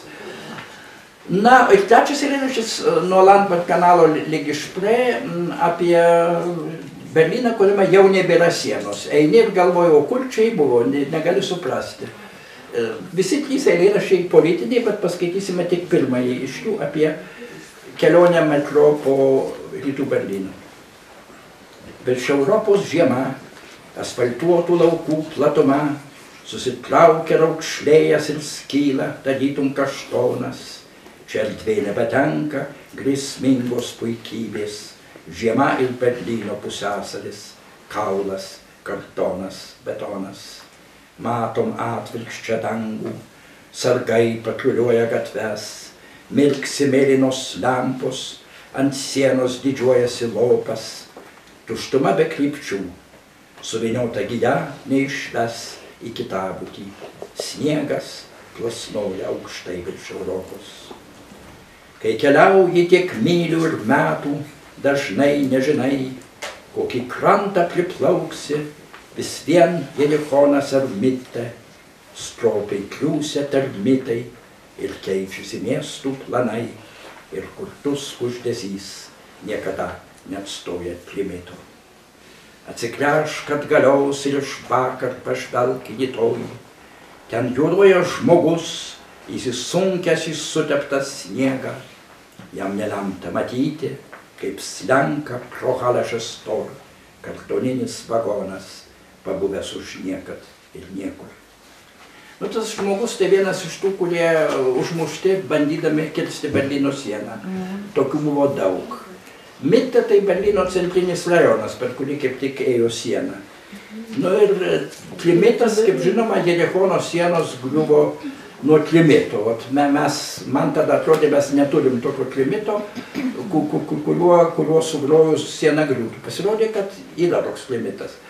Bet, um, tarp kitko vėlgi, kad truputį pralinksminčiau pasakysiu, kad kai buvau Izraelyje, mane nuvežė bičiulis ir į Jerichoną. Jerichonas nėra Izraelio teritorijoje, yra vadinamojoje Palestinos teritorijoje, bet vis dėlto mes ten patekome ir ten yra nuostabus visiškai, e, nuostabus, e, reiškia, užrašas prie Jerichono miesto sienos griuvėsių. Siena griuvo dešimtajame amžiuje prieš mūsų erą dėl nežinomos priežasties. Na gerai, dabar paskaitykime. У Европы зима, асфальтированные поля, что морщинясь трещат, как каштана засохшего шкурка. От тщеславия опасного здесь отказалась земля. Полуостров Берлин, арматура, картон, штукатурка. Видим небо с изнанки, патруль, чтоб порядок хранить, синим глазом мигает, стена зарастает заплатой. Пустота без движений, в катушку замотана нить, Виномер не ведет, над Европой снег синеватый. Столько лет, столько миль путешествуешь, что не готов догадаться, куда ты попал, в Ерихон или в Митте, но с библейской трубой не сравнится глухой шепоток. С хрустом в город вгрызаются карту, меняя термиты. Обернись, загляни из вчерашнего в завтрашний сон. Там чернее на грязном снегу человек заверзает, и не видеть ему ниоткуда картонный вагон из туннеля на станцию Хали-6 выползает. Спасибо. Ponios ir ponai, mes jau kalbame valandą ir 15 minučių. Mes sakėm, kad Truputį vėlavome. turėsim mm, pusantros valandos ir Ir aš pats ir norėčiau, kad kad per daug tas, reiškia, reiškia neprailgtų, bet nežinau, kiek dar eilių skaitysim, gal kokią porą. O, gerai, o mes galim dar, dar vieną šitą uh, vokišką, šitą tarp Latviją. A, jis ilgokas. Ilgokas, bet koks gražus. Nu, ačiū, gerai. Tai vėl, reiškia, tikrai, tikrai šiandien, šiandien bus, šiandien bus grinai politinių eilėraščių serija. Nors aš tikrai esu parašęs ir meilės eilėraščių, ir, ir e, visokių kitokių. Meilės, meilės eilėraštis. Reiškia, finalinis. Meilės. Meilės. Norit meilės? Norim Nu, meilės. noil meil. no kaua ja räägib. ta kalapidi las on meile see keeles.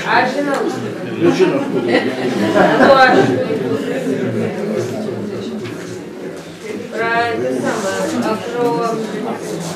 Которая по Донатону? Про. А, это можно. Как же? А, вот, пожалуйста, 34 страница. Ага. На какой странице? Следующем Кетвердес. Дело в том, что здесь два разных издания. В одном есть эти два стихотворения, в другом нет, поэтому кто-то не может найти. Хорошо. Gerai, tai dabar reiškia trump, trumpas eilėraštis tikrai, tikrai apie meilę, apie meilės, taip sakant, naktį. E, nesakysiu su kuo, bet reiškia, bet buvo tokia situacija. Užplūdusi lūpas Vilnis atsitraukia umai ir vėl susikaupia ir lieka savim. Nemarumas tik tobulas įgūdis, atsikartoja kiemai, aptirpusi žvakė, langinę brūžuojantis krūmas. Apakina kūnas, tarytum akmuo vandenį, suklūsta naktiniai drugiai, parafinas garuoja, mes tolstame vienas nuo kito, girdžiu kaip eini iš sapno į sapną, iš rojaus į mirtį ir rojų, į spragą tarp žodžio ir daikto. Dabar tu visa, tik tad, ką prisimena pirštai, žinau, kad pradings ir grįši atgal. Kambarį karaliauja tamsa ir krūmas prabyla ir jūra sulėtina žingsnį. Tik ženklas grįžimas šešėlių bangų dovana, netrokštanti nieko, pranokstanti matą ir saiką, ir girkšta langinė, ir plakas kalba su liepsna, pati amžinybė aklai atsišlėjusi laiką.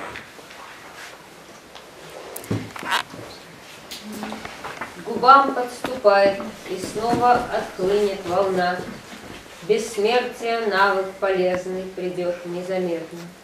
Свеча оплывает, горит за окном купина, Стучит в подоконник ее неустанная ветка, А тело в ночи ослепляет, как камень в воде, И чуткие бабочки треском свечи насторожены, И ты, удаляясь, блуждаешь неведомо где, Из сна в этот рай, в этот сон, в полусмерть, в невозможность, В зазор между словом и вещью. Теперь от тебя, наверное, осталось лишь то, что я пальцами помню, И куст за окном говорит, и царит темнота, И море шаги замедляет у комнаты темной. Ушла и вернешься, биение волн и теней, и цели, без меры и вне измерений. И ветка стучится, и слово сгорает в огне, Как вечности знак, положившийся слепо на время. Вы знаете, ну, про любовь-то много вот чего. Это, да, а у меня-то мало, вот это. Ну, и вот этот эпизодик. Ну, это очень э, такие. А хорошо, можно. Подскажите, подскажите. Ты дадут, дадут. И работу по Супимейля. У вас есть? Aš kartais gaudavau klausimų, net ir raštų, kodėl, ponas Vansla, kodėl nieko neparašytumėme apie meilę. Aš parašiau tiek ir tiek, tik galbūt, taip saka, ne iš karto aišku, kad apie meilę. Taip yra kaip politinė. Eilėraštis vadinasi A Valediction for Winning Sorrow. Nu, yra John O'Dono garsus eilėraštis A Valediction for Winning Mourning. E, atsisveikinimas už reiškia, užbraudė, atsisveikinimas braudžias gedėti. O čia yra atsisveikinimas braudžias liūdėti. Nu, čia yra, apie, čia yra vėlgi apie jaunystės meilę, tokią, nu, savo, man, mano turbūt va, bendrai pir, pirmąją, tą moteris gyva, aš ją kartais ir matau, bet labai retai, mm, ir jau, taip sakant, eilėraštis parašytas Džono Dono truputį dvasia, kadangi jame yra, jame yra mm, mm, tokių, sakyčiau, geometrinių ir e, retorinių ir astronominių palyginimų, ką jis visada darydavo. Veiksmas vyksta Maskvoje, kur ir vyko toji meilė. Paryčiais į kambarį skverbės jazminai ir dulkės, nuo drumzleito kanalo arkomis atkirstas slėmas, lyg ekranas talpino, praeivių nugaras, kalkėm aptaškytą pavartę, ištysusi topolio tromba, kartais tavo apsiausta, tos primirštos atlydžio mados. Kai užtrukdavai, man visados atimdavo amą. Kaip mokėjom, taip skydėmės, vos ne ketvirtą metų, tiesą sakant, nuo pirmojo mūdviejų susitikimo. Net Listanas, ieškodamas būdės, veikiau astronomas aukšti kalnių naktį, priglūstamas prie okularo, šiapus sankryžos rasdavau suodiną paugelsvį namą ir po amžių ir amžių artėjančią laivą figūrą. Tie kiemai išgriauti yra vien kanalas ir gatvų teleskopai. Kai būnu čionai, pakeliu iš stoties į stotį, jų stikliniai gelmiai regiu net mirusius, betgi neturiu didelės vilties tave pamatyti, net ir didelio noro.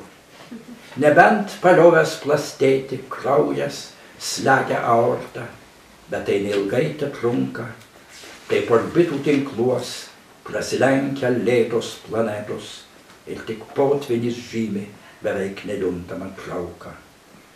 O retorius tarpų, kad lieka tik tai ant žampmanas, suartėja žodžiai, bet skyrium į tuštumą dėtas, nuo eilutės atskyla eilutė, nors strofos strofa, nors vargši sintaksi bando sujungti, ką perkirto rimas.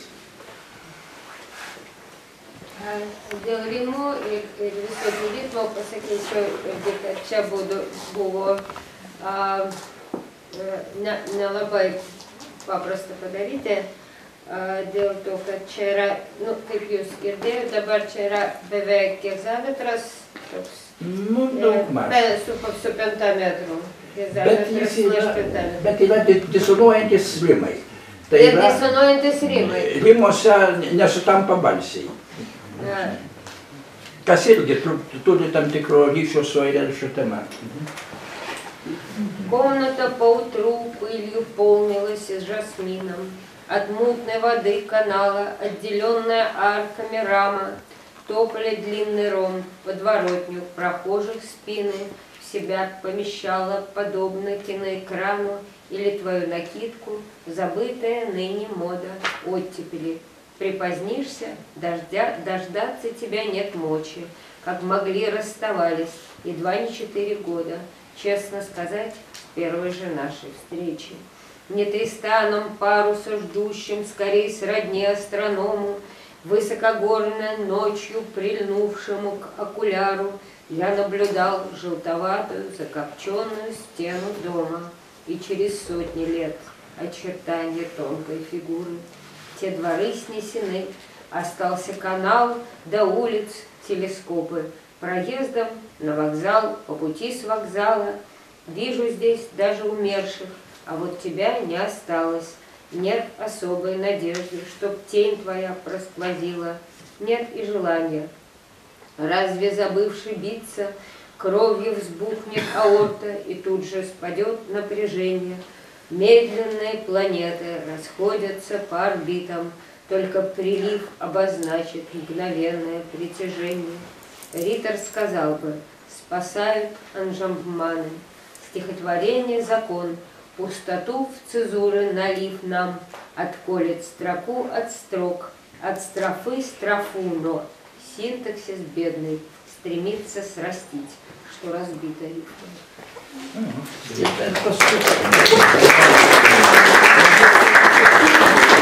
Gerai, paskutinis eilėraštis epizodas. Apie tą pačią, taip sakant, tą patį asmenį ir tą pačią istoriją. Kada visa tai sužlugo, aš e, galvojau nusižudyti. Turiu prisipažinti, kad turėjau tokių minčių, bet to tas nu, neįvyko.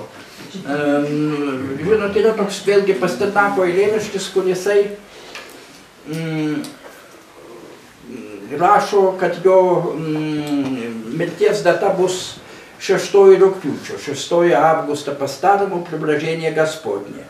Jis to neatspėjo, vis, reiškia, kažkada jaunystėje tą dieną jis patyrė mirties pavojų, bet, bet nemirė. O, o, nu, ir, ir, ir manė, kad ta, ta, ta, ta data jam lemta. Na ir čia truputį yra irgi nuoroda į tą Pasternako labai plačiai žinoma ir labai mėgstama daugelio eilėraštį. O mm, tas man tai buvo trečioji Liepos, e, kiek, kiek atsimenu. Ir mm, faktiškai turbūt tai, tai viskas, ką reikia pasakyti. Iš tikrųjų Pasternakas mirė ne 6 rugpjūčio, bet gegužės pabaigoje.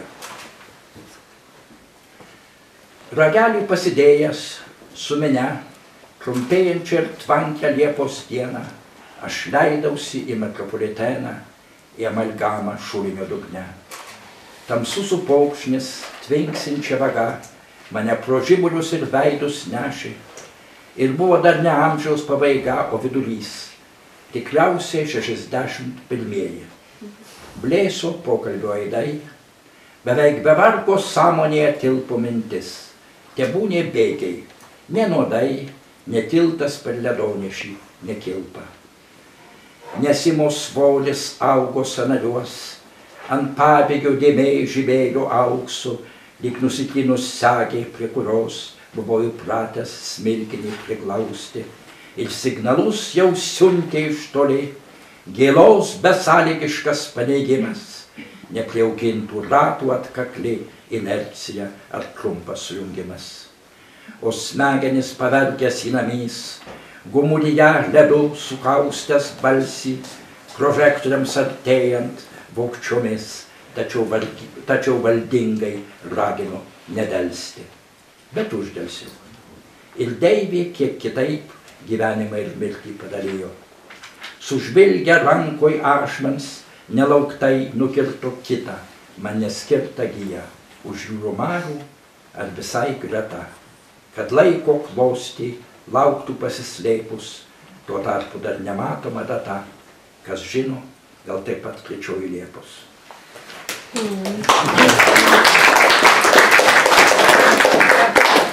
Пользуясь а, вашим а, благорасположением, два слова скажу про то, как я переводила стихотворение.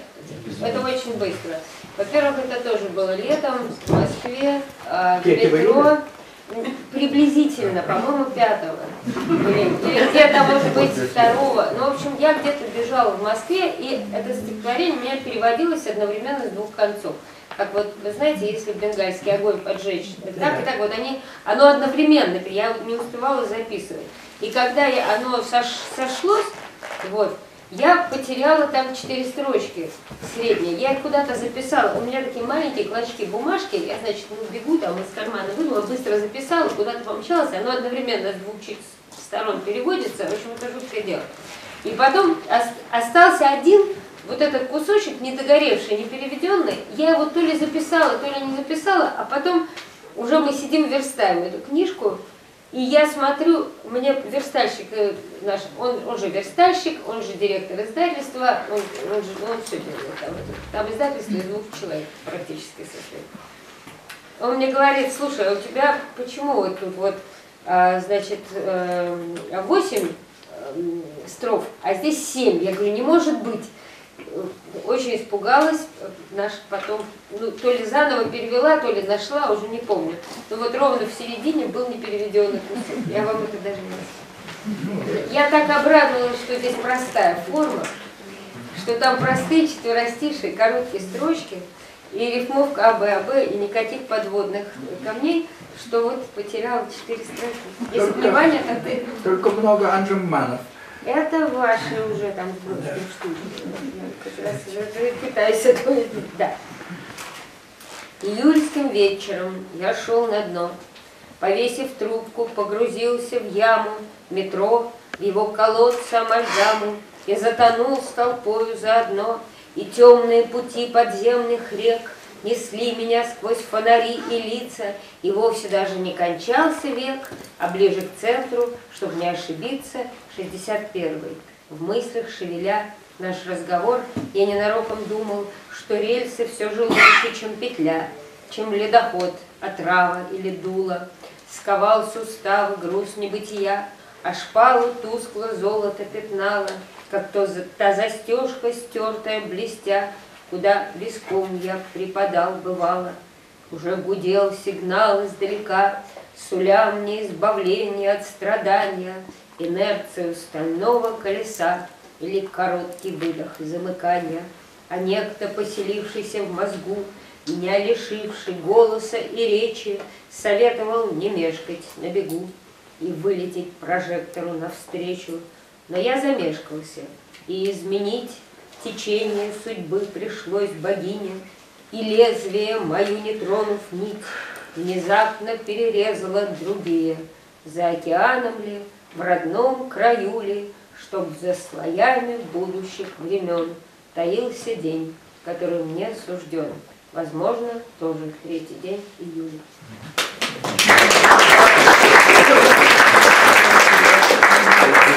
Matot, paskaitėm skirtingų eilėraščių. visi vis dėlto gana painus, iš karto, tu iš karto reikia pasakyti, vis, visi reikalauja tam tikro komentaro, bet šių laikų poezijoje taip dažnai būna, taip, ne, ne tik šių laikų. Bet komentarų knygoje nėra. Yra. Yra. yra. Ir rusiškai, ir lietuviškai. Yra. Ir galit pažiūrėti. Po visų eilėraščių eina komentarai. Eina komentarai. Atsidai, kad tai kiekvieno eilėraščių jų nėra. Mhm. Taip pat yra mano stora knyga, visi eilėraščiai, ten yra tie komentarai. Aš nenorėjau. Aš nenorėjau, aš, aš, aš, aš sakiau leidėjams, kad eilėraštis turi veikti be, be, be jokių komentarų, net jeigu tu jo nesupranti, jis kažkaip veikia. Taip dažnai būna ir, sakysim, skaitai vėlyvai man virš tamą, ką jis tu nori pasakyti, velniai žino, bet, bet labai gražu. Na tai va, ir, Bet tau kažką sako. Bet, taip, be abejo, kažkas sako. Bet jo našlė ir kai kurie kiti padarė tuos komentarus ir kai juos perskaitai, tai dar labiau veikia. Kitaip. Dar labiau veikia. Ir panašiai yra su Dante. Dante pats save komentavo, Vita Nova yra eilėraščių rinkinys, prie kiekvieno eilėraščių komentaras, jo aplinkybės, kuriomis tas eilėraštis buvo parašytas. Elijotas komentavo bevaisę žemę.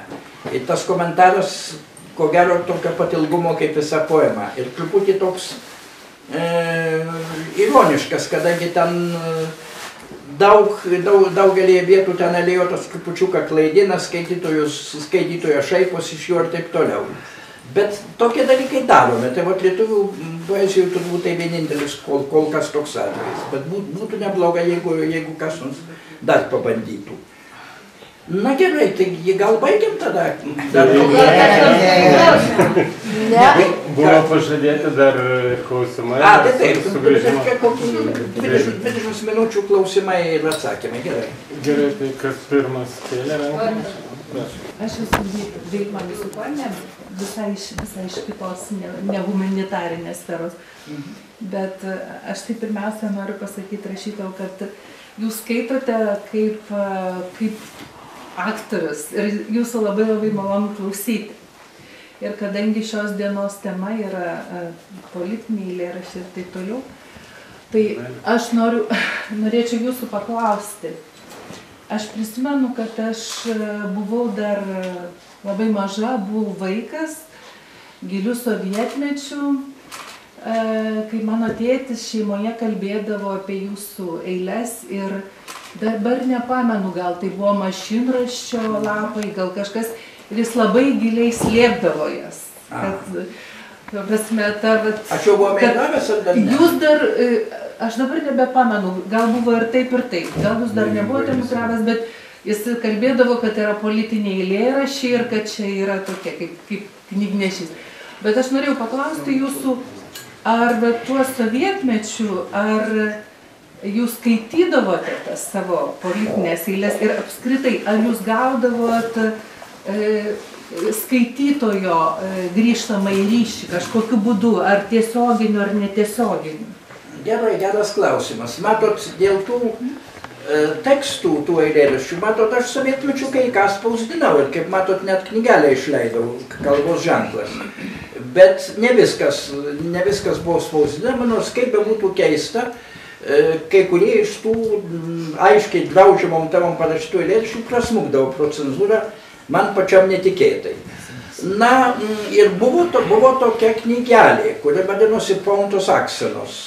E, mašinraščių padaryta knygelė, čia prie to prisidėjo ir čia esantis planas Morkus. Jos buvo keli egzemplioriai. E, gražiai įlišti į tokį geltoną blizgantį popierių. Neliko rodos nei vieno egzemplioriaus. E, nu, čia gal pranas paskui ką, nors patikslins. Bet buvo tokia beveik pirmoji ir ko gero beveik vienintelė tada Lietuvoje poetinė savilaida. Nes šiaip jau savilaida buvo, bet grinai politinė arba religinė. O čia buvo poetinė savilaida. Gal pas jūsų tėvą vienas iš tų egzempliorių nuklydo. Visko gali būti, jeigu taip tai įdomu, gal net išliko. Reikėtų ieškoti. Nu reikia, nu reikėtų ieškoti. Kartais išlenda po daugelio metų tokie dalykai. Dabar reiškia, ar aš skaitydavau, nu, netaip seniai skaičiau Marcelijaus Martinaičio kažkokį Velionio dabar jau tekstą, kad, reiškia, nu, Tomas buvo kažkoks keistas, nepanašus į kitus, mes nelabai supratom, ar jis čia komunistas ar nekomunistas, e, reiškia, vieną kartą jis mums Vilnelės kavinėje, visi išgėrėme, jis mums perskaitė tą eilėraštį Petraukus, skirtą Natalijai Gormanevskai perskaitė balsu ir paaiškino, kam eilėraštis skirtas ir aplinkybės. Nu, aplinkybės mes jau maždaug žinojom, bet kad eilėraštis skirtas Gorbanevskiai, tai Martinaičių buvo naujiena. Ir nuo to laiko aš pradėjau suprasti, kad tas Tomas netoks jau paprastas, kaip atrodo. Ir reiškia, vat buvo tokia, aš pats neatsimenu. Pats neatsimenu, gal dėl to, kad buvom visi išgėrę, kad, kad skaičiau žmonėms balsu. Kavinėje, kur be abejo turbūt buvo ir pasiklausimo aparatų, Mm, bet taip buvo. Ir turiu pasakyti, šiokią tokią auditoriją turėjau. Nors ją sudarė, nu, turbūt keliolika žmonių. E, Pranas Morkus, Juozas Tumelis, Judita Vaičiūnaitė, tarp kitko Vladas Šimkus, štai kaip matote Marcelius Martinaitis, retkarčiais kitas Geda, dar vienas kitas, bet ji buvo, ta auditorija buvo tikrai nedidelė. Tikrai nedidelė, nu, bet tai būna ir paskui kartais padidėja. Blogiau, kai iš pradžių auditorija labai didelė, o paskui sumažėja iki kelių žmonių arba visai išnyksta. O, o tokių atvejų yra irgi labai daug. Tai mano vardas Aglė Maroskaitė ir aš norėčiau tokį irgi klausimą užduoti, gal šiek tiek iš kitos pusės, mažiau poetinės. Tai jūs esate, kiek žinau, ne tik aktyvus poetas, bet ir labai daugeliu klausimų pasisakote ir apie gyvenimą valstybės, ir šiaip apie gyvenimo prasme ir taip toliau. Mhm. Ir man, tarkim, tokia kirbėjo mintis, kad žmogus, kokios amžiaus bebūtų, jis dažnai ieško, sakykime, mokytojo kažkokio, na, kažko toliau pažengusio, ką jis galėtų pažiūrėti kaip į autoritetą, kaip į kvėpimą, ar ne kažkas, kas būtų aukščiau ir jis galėtų pasisemti. O jūs, kiek pasisakot, jūs vis pri, primena tai vieną, tai kitą kokį įvykį, kaip jūs įkvėpia, nu, tokie paprasti žmonės, ar kokie jaunuoliai, ar kažkas, na tarkim, atrodo visai pašaliečiai. Mhm. Ir kai, tai mano klausimas būtų, tai kas, kas jums padeda nepasiduoti tokiam intelektiniam suprematizmui ir puikybei, kaip, kaip jūs randate savyje tą, kad nuoširdžiai atsiverti žmonėms, kurie yra paprastesni, ar toms patirtims, kurio jums galbūt ir žinoma ir patirta, bet vat, vis tiek pabandyti iš kito galo prieiti. Tai kas jūs veža, kas jūs skatina? Tai? Nu, matot, mane dažnai kaltina, kad aš kaip tik įpūlu į puikybę ir iš aukšto, ir iš tolo visus mokau, vadinu provincialais, atsilikėliais, tamsuoliais ir taip toliau. Nu, paprastai nevadinu, stengiuosi nevadinti. Visada sakau mes mes klystame, mes čia sakome ne tai, kas reikia, tai yra, taip sakant, tarsi įsijungiu į, į, į, pa- pats į tą grupę, stengiuosi ją nežiūrėti iš aukšto ir ne, ne- nesikelti į puikybę. Jeigu kartais pasikeliu, tai yra, mm, taip sakant, nuodėmė, klaida, kurią ir viešpas Dievas draudžia. Puikybė yra, kaip žinote, pats blogiausias, pati blogiausia iš sep- septynių didžiųjų nuodėmių. E, yra toksai, čia bus, bus tokia digresija, viduramžių e, žodis, e, toks tarsi slaptažodis sukurtas anų laikų teologų saligija. Saligija yra iš pirmųjų didžiųjų nuodėmių e, pavadinimų, pirmųjų raidžių sudarytas žodis. Jis nieko nereiškia, tai yra tiesiog, kad klierikas geriau įsimintų tas septynias didžiasias nuodėmės. Saligija, pirmoji superbija, puikybė, pati blogiausia. Antroji avaricija, e, šikštumas. Antra pagal blogumą. Trečia yra mm, liubrisitas arba liuksurija, tai yra gašlumas. E, ketvirta yra yra arba pyktis. E, penktoji yra gula, tai yra, mm, kaip seniau sakydavo, pilvapenystė. Tai yra, taip sakant, mm, pomėgis e, valgio ir panašiai. Čia įeina tarp kitko ir girtokuliavimas, ir narkomanija, ir netgi rūkimas, tai yra gula. E, Didelė nuodėmė, mirtina nuodėmė, bet tik tai penktoji pagal eilę. Toliau yra invidija, pavydas. Tai netokia jau didelė nuodėmė pasirodo, nes gali pavydėti ir gerų dalykų. Ir e, paskutinioji nuodėmė akedija. E, toks, taip sakant, nu tai tingėjimas. Tai yra ne tiek nuodėmė, kiek dorybės stoka. Tai va taip jūs superbija, tas pirmoji raidė S e, žodėje sąlygė yra pati blogiausia. Nes kaip gerai pasakė Čestertonas, superbija turi dar tą bruožą, kad jeigu ją pridėdė prie bet kurios kitos nuodėmės, tai daro tą nuodėmę dar blogesnę. Jeigu žmogus yra šiaip savo šikštus, nu tai dar, nu blogai, bet dar nieko baisaus. Bet jeigu jis sako, e, gerai, kad aš šikštus, šitiems, bet ši- šitie neturteliai nusipelnė savo, e, reiškia, lemties, kadangi yra tinginiai, girtuokliai ir taip toliau, o reikia, vadinasi, aprūpinti vaikus, reikia, reikia kurti žemišką gerovę, tai yra gera, tai va tada prie šikštumo prisideda dar ir puikybė. Ir tai yra dar žymiai, žymiai blogiau. Kada žmogus yra šiaip savo užsima meilės nuotykiais į kairę ir dešinę, tai pakankamai blogai. Bet kada jis dar to didžiuojasi, o labai daug kas didžiuojasi, tai dar žymiai blogiau. Nu ir taip toliau. Taigi puikybė labai bloga nuodėmė, reiškia nuodėmė, aš bandau jos vengti, nu, turbūt ir ne visada išvengiu. Bet matot, kodėl aš dažnai, aš labai nemėgstu būti publicistas, bet man visą laiką tenka. Nu, iš dalies dėl to, kad prašo. Iš dalies dėl to, kad kreipiasi. Sakysim, čia dabar buvo Pilsus, Pilsudskio konferencija. Buvo į mane kreiptasi, parašyk straipsnį apie Pilsudskį. Mm, nu, parašiau. Kadangi mano manimu, Pilsudskį Lietuvoje, taip sakant, įprasta suprasti kaip grinai juodą į charakterį, o pažiūra jį galėtų būti žymiai labiau niuansuota ir aš pasistengiau tą, tą pažiūrą išreikšti. Arba am, amžinai, kai atvažiuoju į Lietuvą, am- amžinai prašo interviu. Niekad pats nesiūlau, štai galų galę turbūt niekas to ir neklausytų, kad štai aš jums duosiu in- interviu. Ne, prašo, nu aš tada sakau, ką galvoju. E, Ir, mm, bet nelaikau to savo pašaukimu ir nors pastaruoju metu turbūt, jeigu kas nors apie mane ką nors girdi, tai daugiausiai dėl tų straipsnių ir dėl tų interviu. Nes jie užkabina skaudžias vietas. E, Aš turiu aiškę gana pažiūrų sistemą ir žinote, sovietmečių mm, irgi nu, žinot, yra toksai senas vieno hebrajų išminčiaus posakis. Jeigu, jeigu ne aš, tai kas? Jeigu ne dabar, tai kada? Ir vat sovietmečių, reiškia, buvo apie ką pasakyti blogų žodžių, buvo nemažai, bet nieks jų nesakė. Ir visi sakė, dar ne dabar, dar ne dabar. Nu, paskui, kai jau e, susilpnėjo tie varžtai, kai jau buvo netgi atvirai pasakyta, čia atvažiavo, atsimenu, kada prasidėjo iš tikrųjų sąjūdis ir, ir kada jau visi nustojo bijoti. kada iš Maskvos atvažiavo toks Jakovlevas ir pasakė, nebijokite, kalbėkite, ką galvojate. Ir tada jau visi pradėjo kalbėti, kai joms buvo duota tam tikra garantija. Tai vat, o man atrodė, kad, kad, kad galima ir reikia pasakyti anksčiau, kad jeigu to nepasakysi, kol dar tas nėra leista, tai bus kažkaip gėda ir savo pačiam, ir ir visiems kitiems. Ir kyla tas, kyla tas klausimas, jeigu ne aš, tai kas?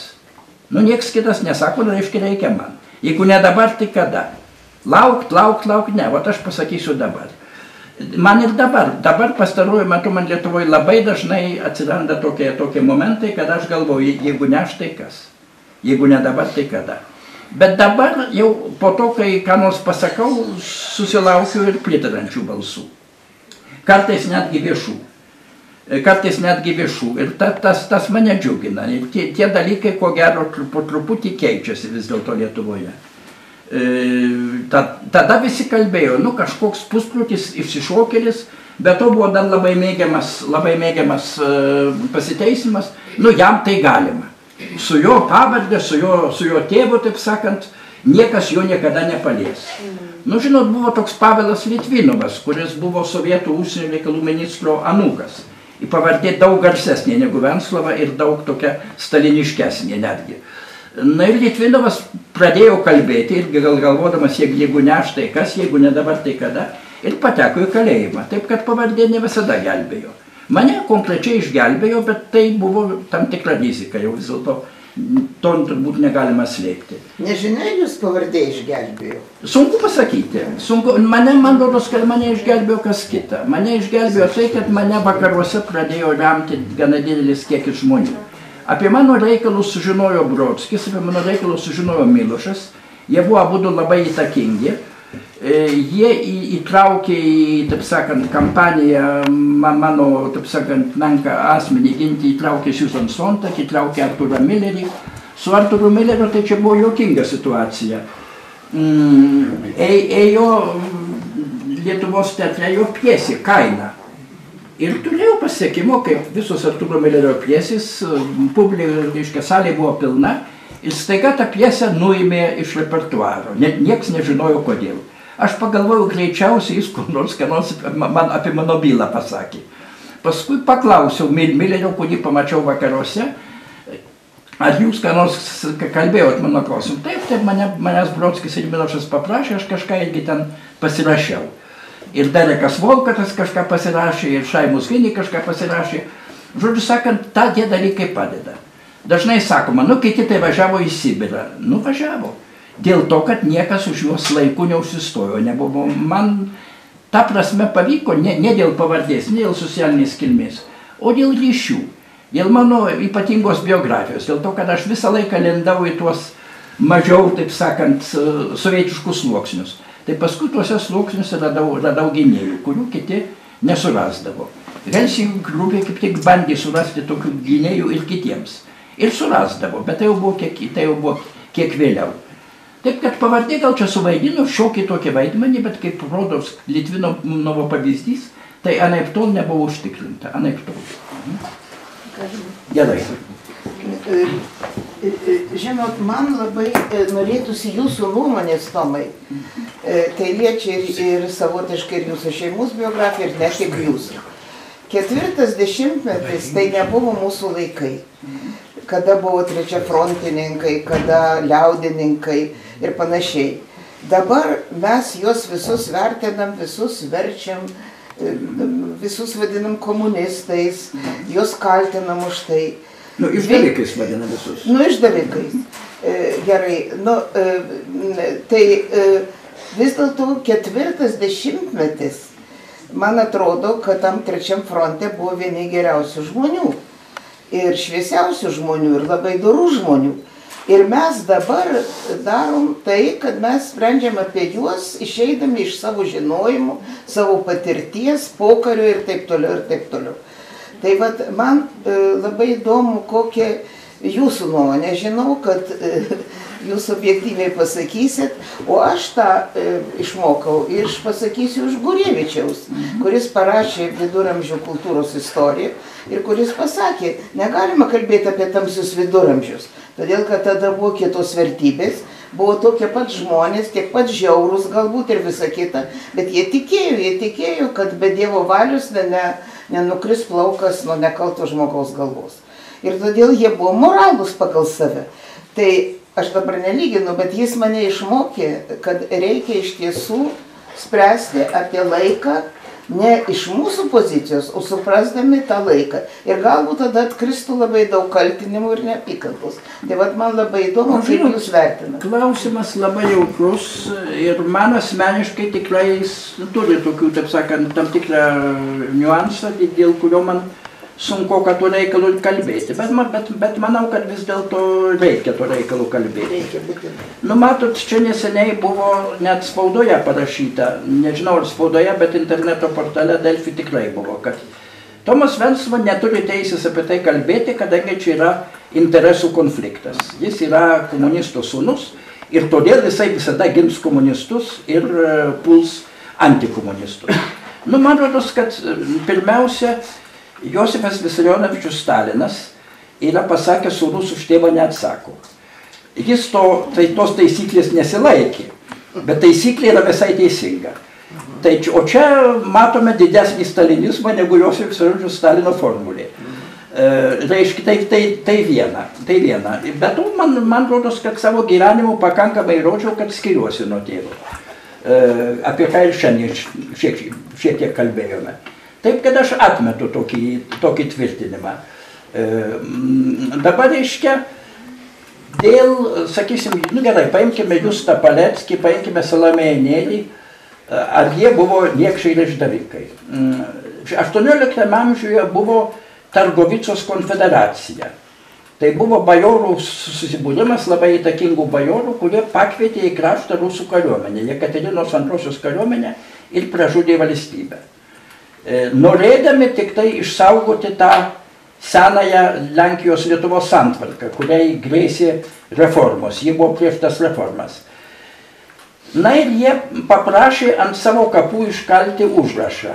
Buvome kvaili, bet nebuvome niekšai.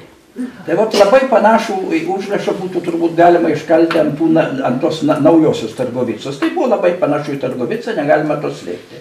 Bet panašų užrašą būtų galima iškalti. Žmonės nesusigaudė, bet nebuvo niekšai. Tarp kitko, e, sakysim, kad ir Petras Svirka. Jeigu jis būtų kur nors ką nors parašęs, buožas buržujus reikia naikinti arba reikia suvaryti visus į kalėjimus ir te- tegu ten jie išmiršta. Jeigu jis nebūtų parašęs, jis būtų nusikaltėlis. Jo paminklas negalėtų stovėti, e, kadangi jis to niekad nepasakė. Nei Petras Svirka, nei galų galia Justas Paleckis yra ir buvo ir tikrų nusikaltėlių, sakysim, Gudaitis Guzevičius, kuris buvo mm, sau- saugumo ministras ir asmeniškai lasda muždavo kalinius. Nu, nekankindavo, bet lasda muždavo ir sako taip jau e, vkadil vavkus, kaip rusiškai sakoma, kad muždavo gana stipriai.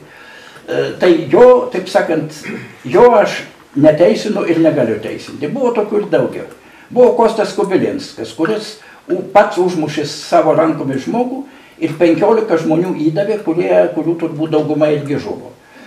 Irgi nusikaltėlis, aiškus nusikaltėlis, bet, bet Bet tragiška figūra taip pat. Nu galbūt, bet, bet nusikaltėlis. Jo paminklo aš, ne- taip sakant, nesutikčiau matyti, jo vardu gatvės mm, vadinti nenorėčiau. Dabar vadinti Salomėjos Nėlės vardu mokyklą. Turbūt truputį per daug. Mokykla yra spe- specifiškas dalykas. Mokykla yra tik, tikrai vadinama tokių žmonių vardais, kurie didelių klaidų nepadarė, kurie gali būti pavyzdys. Žmogus padaręs didelę klaidą negali būti pavyzdys. Bet ar reikia naikinti jo atminimą, būdavo yra toks romėniškas posūkis damnacio memorija, atminties panaikinimas. E, tai didelis klausimas.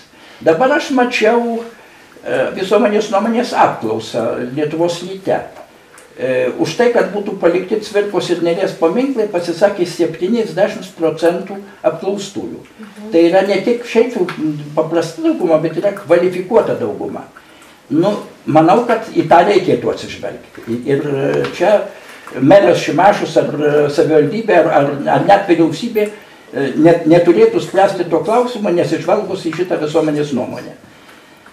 Aš iš viso laikau, kad paminklų naikinti neverta, nebent jie būtų pastatyti tikriems nusikaltėliams. Todėl reikia naikinti Dzeržinskio paminklą. Jeigu būtų Gebelso paminklas, jį reikėtų panaikinti. E, Jeigu yra Lenino paminklas, irgi reikia, ir- irgi reikia nugriauti ir jie jau yra nugriauti.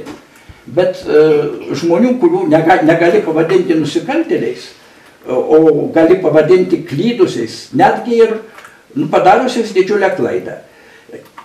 Išdavikais irgi nevadinčiau. Savo ideologijos jie, neišdavė. Jie išdavė tą kitą ideologiją, kuri buvo tada laikoma valstybinė, privaloma ir dabar vėl laikoma valstybinė privaloma. Bet tai yra ideologija. O, bet, bet klaida, kadangi tikrai įstumė, nu, neįstumė, nes ir be jų tas būtų įvykę. Bet padėjo ir nu, prisidėjo savo parašais, padėjo įstumti Lietuvą į labai sunkę padėtį, iš kurios per didelį vargą buvo, per didelį vargą buvo, buvo išsikapstyta. Bet jų paminklų aš ne, nenaikinčiau. Kiek žinau, Norvegijoje yra Hamsuno paminklai, net keli. Net keli, nors Hamsunas buvo labai labai panašaus likimo žmogus. Buvo net nuteistas, buvo ne- ne- net, net nuteistas. Aš atsimenu vėlgi, mane labai mm, nustebino Zenono Blino dienoraščiai. Zenonas Blinas buvo fašistas, jis vadino save fa- fašistu, ne sovietai jam tą, reiškia, prikirgė tą etiketę, bet jis pats taip save vadino, jis buvo Musolinio šalininkas ir, nu, garbingas, tiesą pasakius, žmogus, ne- nebuvo nusikaltėlis, nebuvo nusikaltėlis. Ir jo dienoraščius radau tokią vietą. E, Tokiems žmonėms kaip Cvirka, Venslo ir panašus reikėtų vieneriems metams atimti balsavimo teisę. Mhm. Viskas. Nepaprastai pekatariška bausmė. Nu, jeigu jau Zernas Blinas tai prašė, gal į tai irgi, taip sakant, verta, verta būtų tai atsižvelgti. Na, ot, tai tuo tarpu tiek. Čia mes kaip tik, nu, ponas Beliauskas. O čia, čia, čia, čia. Tai reikės, klausau. Aš noriu paklausti, gal galėtumėt patikslinti vieną legendą? Taip. E, aš iš prano esu girdėjęs e, apie apie tai, kada Stalinas dėrėjusi su lietuvių delegacija, kokių žemių reikia iš Vilniaus krašto, Aha. ar ne? Tai viena legenda sako, kad Liudas Gira trikčiodamas pasakė, druskininkų, druskininkų Visai mums reikia. Ar cvirka, nes, pavyzdžiui, streikus druskininkėtis man sakė, kad e, druskininkiečių naratyve yra legenda, kad, kad cvirka būtent pasakė, kad mums reikia druskininkų, nes ten Čiurlionis gimė. O iš pranų girdėjau, pranį patikslinti, Apie iš tai- pranų girdėjau, kad būtent Liudas Gira pasakė, kad mums reikia druskininkų. Tai yra o kiti, o kiti dėjo kaip vandens į Tai yra, ne visai, tai yra ne visai legenda. Tai yra ne visai legenda, nes apie tai rašoma Paleckio atsiminimuose. Išspausdintusi dar sovietmečių, už kuriuos jis buvo, tarp kitko, gerokai iškritikuotas Niečkaus ir partinės kritikos. Apie tai rašoma, kada jie nuvyko, kada jie nuvažiavo, kaip sakoma, Lietuvą parduoti ir, ir buvo Kremliuje, prie jų priejo kažkoks uh, pareigūnas sovietinis, Odinių švarkų ir sako, čia yra tokia e, idėja įstojimo proga jums perduoti kai kuriuos Baltarusijos rajonus. Kokius rajonus jūs norėtumėt gauti? Nu, jeigu aš ten būčiau buvęs, tai aš būčiau pas, jeigu, žinoma, aš ten nebuvau ir ačiū Dievui, kad nebuvau, e, bet jeigu aš ten būčiau buvęs, tai būčiau pasakęs, nu, yra nu, žemėlapyje linija, Lenkų okupota Lietuvos dalis, ten lygi Molodečino. Tai būt tiek, ir atiduokite dar. e, Lenino laikais pasirašyta Rodos taikos sutartis. Pagal tą sutartį vat, tos žemės mums atitenka. Ir, ir būtų mums atidavę. Ir, ir dabar mes jas turėtume, tik tai aš nežinau, ką mes su, su to Molodečinu dabar darytume, jeigu net su šalčininkais gana sunku yra. E, Bet tada jie pradėjo galvoti. Paleckis galvoja, galvoja, sako, švenčionys. Nes žinoma, kad ten lietuvių gyventojų dauguma. Gerai, pareigūnas užsirašė švenčionys. Kažkas sako marcinkonys, gerai marcinkonys. Kažkas sako dieveniškis, gerai dieveniškis. Ir tada Liudas Gira, tą rašo Paleckis, iššoko ir sušuko druskininkai, druskininkai. Užsirašė tada ir druskininkus. Druskininkus turim Liudo Giros dė- dėka. Jeigu ta istorija Paleckio yra teisinga, bet antra vertus nežinau, kodėl Paleckis turėjo meluoti, matyt, jis, jis taip atsiminė. Dėl Svirkos ne, dėl Svirkos aš tokių žinių neturiu. Apie Liudą Gerą turiu. Nu, Liudas Gerą turi ir kitų nuopelnų Lietuvą. Jisai likvidavo mm, vadinamą pevekų sąmokslą. Ir kiek aš žinau, e, čia dažnai kalbama, kad škirpa tai tas, kuris iškėlė trispalvę. bet jis iškėlė Vilniaus komendanto Liudo Geros palieptas. E, Liudas Gera, taip sakant, nusprendė iškelti tą trispalvę. Apie tai nekalbama ir nerašoma, bet, bet tai man rodos, man, man rodos, kad tai yra faktas. E, Nu, ir Škirpa ir Gera, švelniai kalbant, kontroversiškos figūros, bet kas buvo, tas buvo.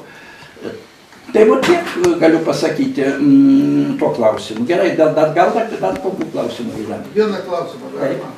Borisai, sakykit, prašau, kaip Jūs vertinat, kad dabar išleistos labai tokios rimtos knygos e, Europoje, ypač Vokietijoje, kaip Karlo Markso kapitalą ir e, išleido dabar Hitlerio knygą Mein Kampf.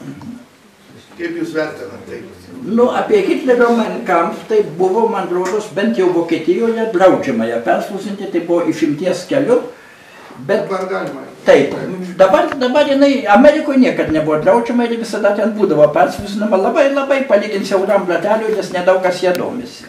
Nu, aš galiu pasakyti, galima labai piktintis e, Hitlerio knygą, e, sakysime, Stalino raštai irgi reikėtų turbūt piktintis, jeigu jie būtų perspausdinami. Bet antra vertus, aš manau, kad jeigu nori suprasti 20 amžiaus istoriją, tai reikia perskaityti ir Mein Kampf, ir Stalino raštus. Jie turi būti kažkokiu mastu prieinami. Dėl Markso tai tai kita istorija, kadangi Markso kapitalas e, jokių nusikaltimų nežada ir nepropaguoja. Tai yra tiesiog ekonominis traktatas. Nu, apie tai, kad jūs pralinksminčiau, papasakosiu gerą anegdotą. Sako, kuo skiriasi, kuo skiriasi Karlas Marksas nuo mūsų buhalterį, nuo, nuo, nuo mūsų įstaigos e, darbuotojos e, Rozos Maksimovnos. Nagi tuo, kad Karlas Marksas buvo ekonomistas, o jinai yra vyresnysis ekonomistas. Taigi, ir reiškia, tai yra ekonominis traktatas, savo metui vertingas, e, savo at- atidengęs tikrai kai, kai kurios visuomenės gyvenimo dėsnius. La- Labai, labai po to, taip sakant, iškreiptai suprastas ir iškreiptai gyvendintas, bet panašiai buvo ir su Freudu. Vienas labai protingas žmogus, em- rusų emigrantas man pasakė, sako, jūs esate gyvenęs marksistų valdomame pasaulyje ir žinote, kad tai ne piragai. Bet sako, bet jūs neįsivaizduojat, kas būtų, jeigu, jeigu, Fro- jeigu freudistai būtų pa- paėmę valdžią. Kiek, kiekvienam būtų įsakyta užmušti savo tėvą ir vesti savo motiną. Sako, lai, laimė freudistai netapo e, va- va- valstybės va- valdovais, o marksistai tapo. Ir, o kas toliau, tai mes jau žinome. Nie, nieko gero iš to, kaip žinome, neišėjo. Gal dar klausimų yra? Aš esu skaitęs ir man kamp ir Stalino raštus ir nu, ne, nepasakyčiau, kad tai man įkvėpė susižavėjimą Hitleriu arba Stalinu. Klausau? Gal, gal paskutinis bus Eugenijus. Jūs daug pasakojate apie praeitį, tai natūralu. Ir amžius, ir patirtis. Reiškia, bet kiek aš žinau, jūs turite labai aiškę viziją dėl Europos ateities. Vat dėl Europos aš ir noriu paklausti.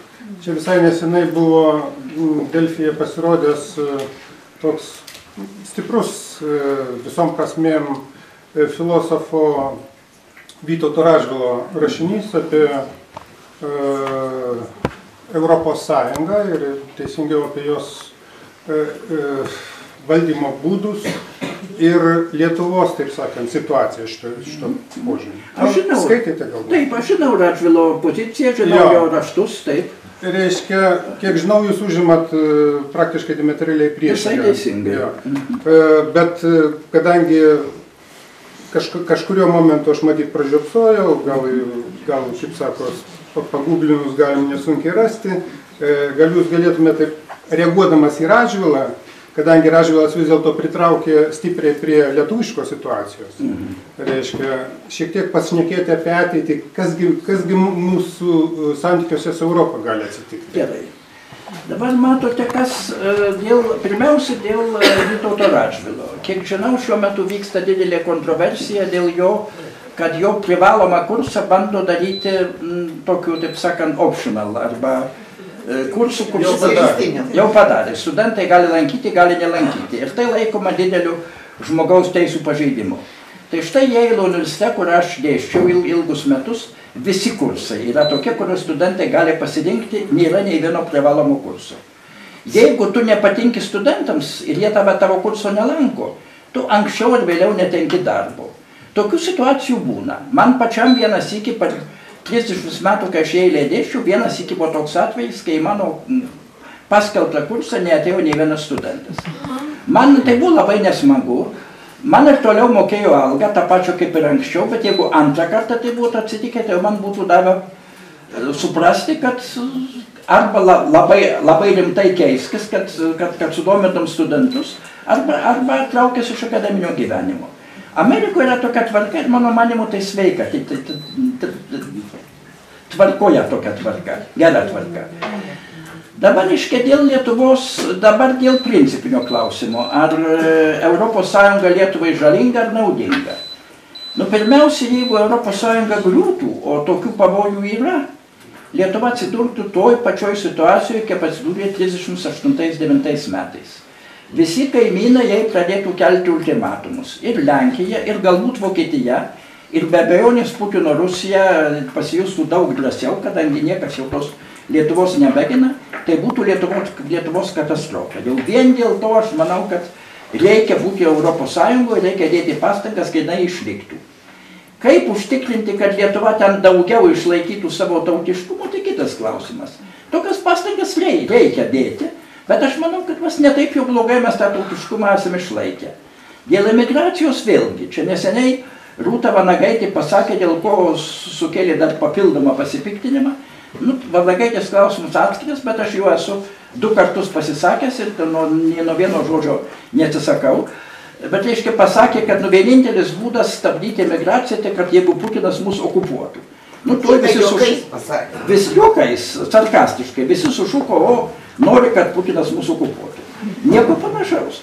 Bet e, aš irgi esu nekartą sakęs, vienintelis būdas tai e, apjuosti Lietuvos pe- perimetrą spygliuotą vėlą, iš visų atimti užsienio pasus, niekam neduoti vizus, kaip tai buvo sovietmečių. Lietuva gali būti nepriklausoma, bet jeigu įvesi tokią tvarką, tada tikrai emigrantų nebus. Arba bus tik tai pabėgėliai, vienas kitas. E, Na, aš irgi tą sakau, bet tas nereiškia, kad aš noriu, kad būtų tas spygliuota vėla. Manau, kad anksčiau ir vėliau tas emigracijos klausimas susitvarkys ir kad dėl to laikyti, kad tauta žus, dar yra per anksti. Nu visko gali būti, bet žinot, yra tautos, nu sako, gerai, mm, žydų yra daug daugiau emigracijoje, diasporoje negu Izraelyje. Žydų tauta 2000 metų niekur nežuvo. Į tai sako, nu taip, bet jie izoliuotai gyvena, jiems padeda religija, jiems padeda talmudas, papročiai, gerai, airiai. Airiai neturi skirtingos religijos, jie mm, neturi talmudo, jie yra katalikai. Airių diasporų ir gyvena žymiai daugiau negu Airijoje pačioj. Airija niekur nežuvo. Airija taip klesti, kad lietuviai subėgo į tą Airiją ir tenai, taip sakant, ieško geresnio gyvenimo. Žodžiu sakant, nu Airija tiesiog prarado kalbą ji yra beveik išnykusi.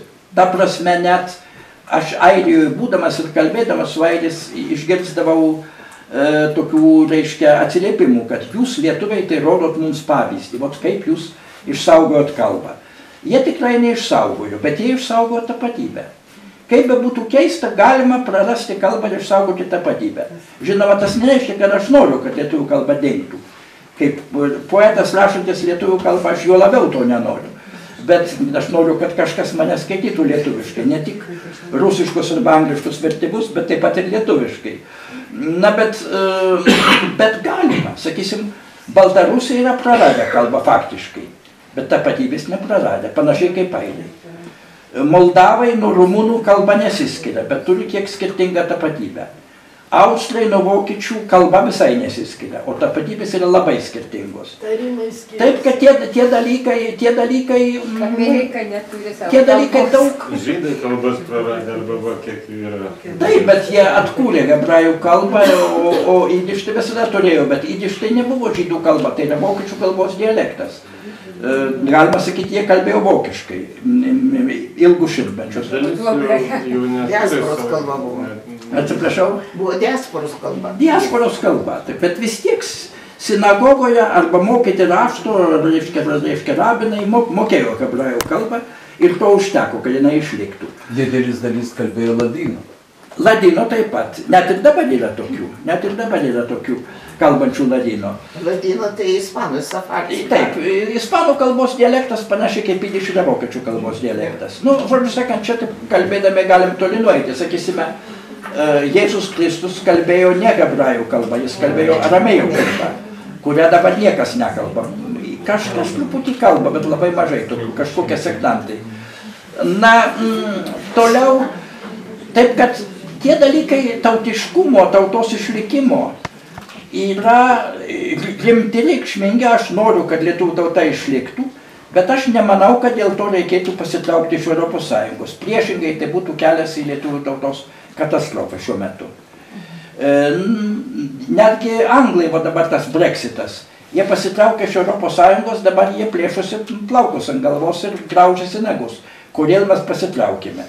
E, Taip kad tie dalykai daug sudėtingesni, daug labiau niuansuoti, negu atrodo, negu atrodo mūsų vadinamiesiams euroskeptikams.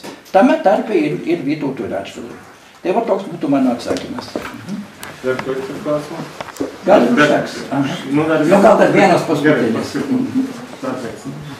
Petras, norėjau paklausti, mes daug žinom apie, nu, ne, negaliu pasakyti daug, bet daugiau žinom apie jūsų santykius su e, čia lietuviais Lietuvoje, su europinio lygmens e, reiškia, švietė, švietėjiškais e, literatais ir taip toliau ir, ir, ir politikais. Norėčiau paklausti, kaip jūs, kokie jūs santykiai su lietuvių bendruomenė Amerikoje? Gerai. Nes to tas mažiau čia žinom. Gerai, aš kai patekau į emigraciją, aš patekau į tą lietuvių bendruomenę, kuri buvo labai įvairi, panašiai kaip ir Lietuvos visuomenė yra įvairi. Joje buvo skirtingų pakraipų.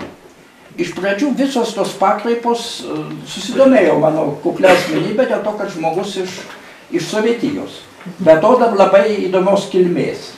Be to dar labai keistos biografijos. Žinoma, buvo kalbama, nu daugiau patyliukais, anonimiškai, spaudoj tokių dalykų ne, ne, ne, nesu, nesurasdavau.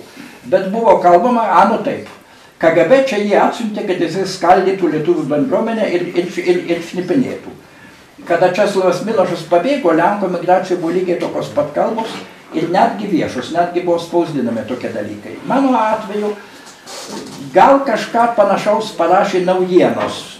Buvo toks super antikomunistinis laikraštis, kuris jau seniai nebeina, kuris jau, mm, bet kurio beveik niekas neskaitė.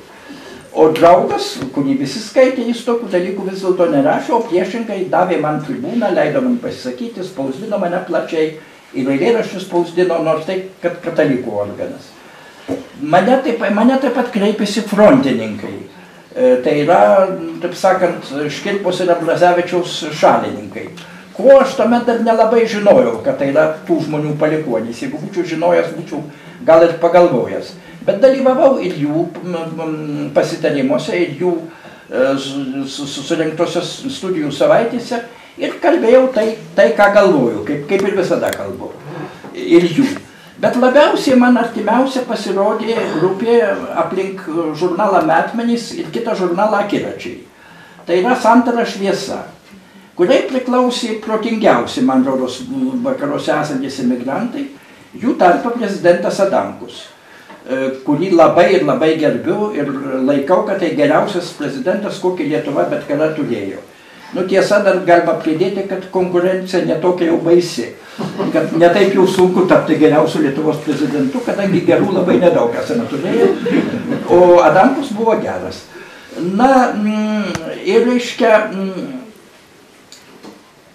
Tai vat su Adamkaus grupe man labai buvo lengva rasti bendrą kalbą, tai buvo, akirošiuose buvo Liūtas Mutskūnas, e, Zenas Lekašius, dar, kit, dar keli žmonės, e, Tomas Lemeikis, su kuriais, nu, neturėjau jokių ginčių, jokių klausimų.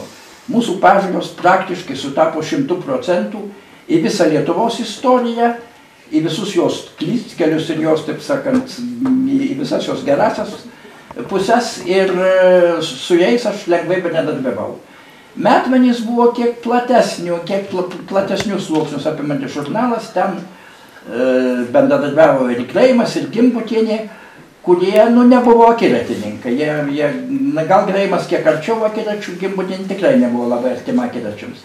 Bet tai irgi buvo inteligentiški žmonės, kurie inteligentiškai diskutavo ir sakė protingus daiktus. Su jais buvo irgi lengva rasti bendrą kalbą. Nu, kada Lietuva išsilaisvino, tai mano santykis su lietuvių bendruomenė susilpnėjo, kadangi galiu važinėti į Lietuvą ir tai, ką noriu pasakyti, sakyti Lietuvoje. Ir tai, ką noriu spausdinti, spausdinti Lietuvoje. Be to ir ten lietuvių bendruomenė pasikeitė, senieji žmonės išmirė, jau nebėra nei Mockūno, nei Greimo, nei Gimbutienės, nei, nei senųjų frontininkų, nei tų, kurie redagavo draugą, tų katalikų, nei tų, kurie redagavo naujienas, nu nebėra. Yra nauja, naujos grupės, kuriems daugiausia rūpi prasimušti gyvenime ir nu, nusipirkti gerą automobilį arba keletą automobilių ir padėti giminėms Lietuvoje, kas labai gerai, tegu padeda, kas labai gerai.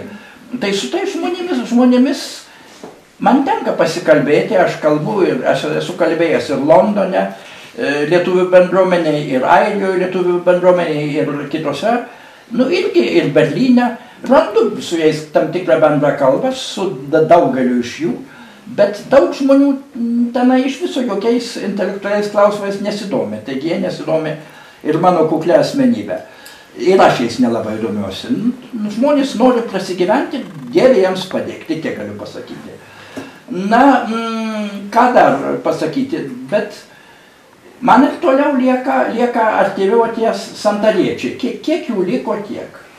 Nu, dar papasakosiu jums gal visai jau pabaigai, jau po paskutinis klausimas.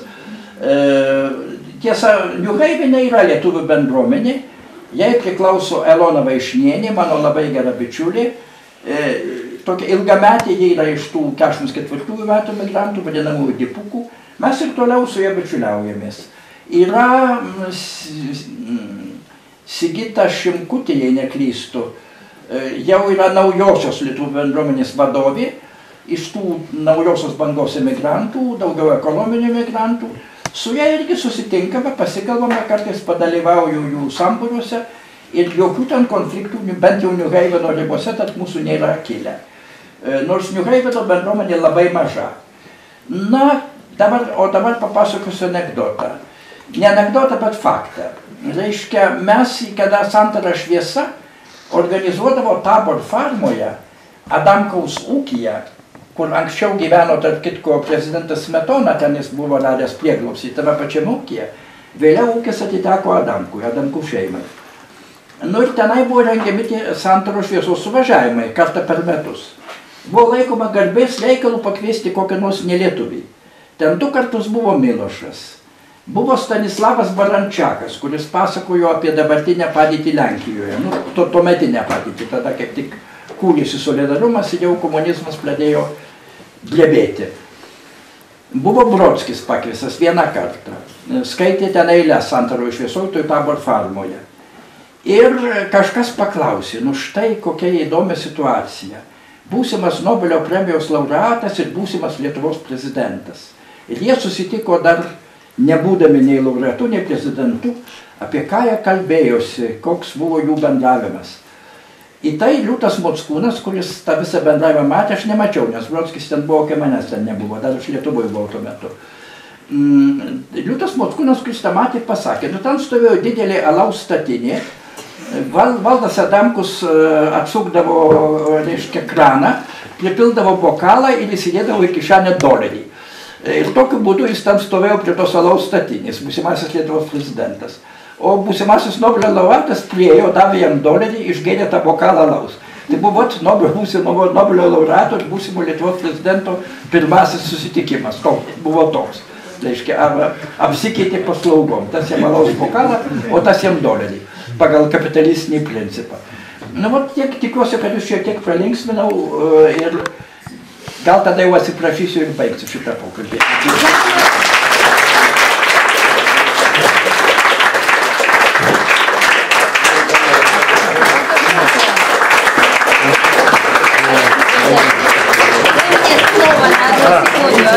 Dar, dar Ana nori porą žodžių pasakyti.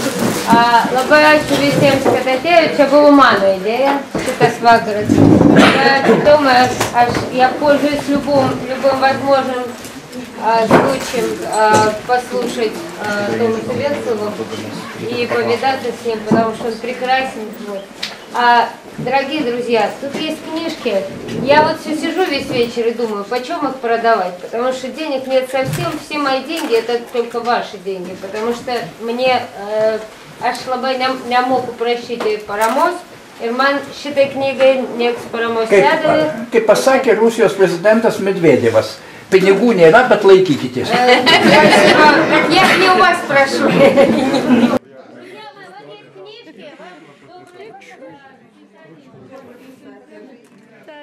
Pralysiu knygą. Čia jau eina užsėmęs. Tai jau turėjau a- antrą seriją. Yes.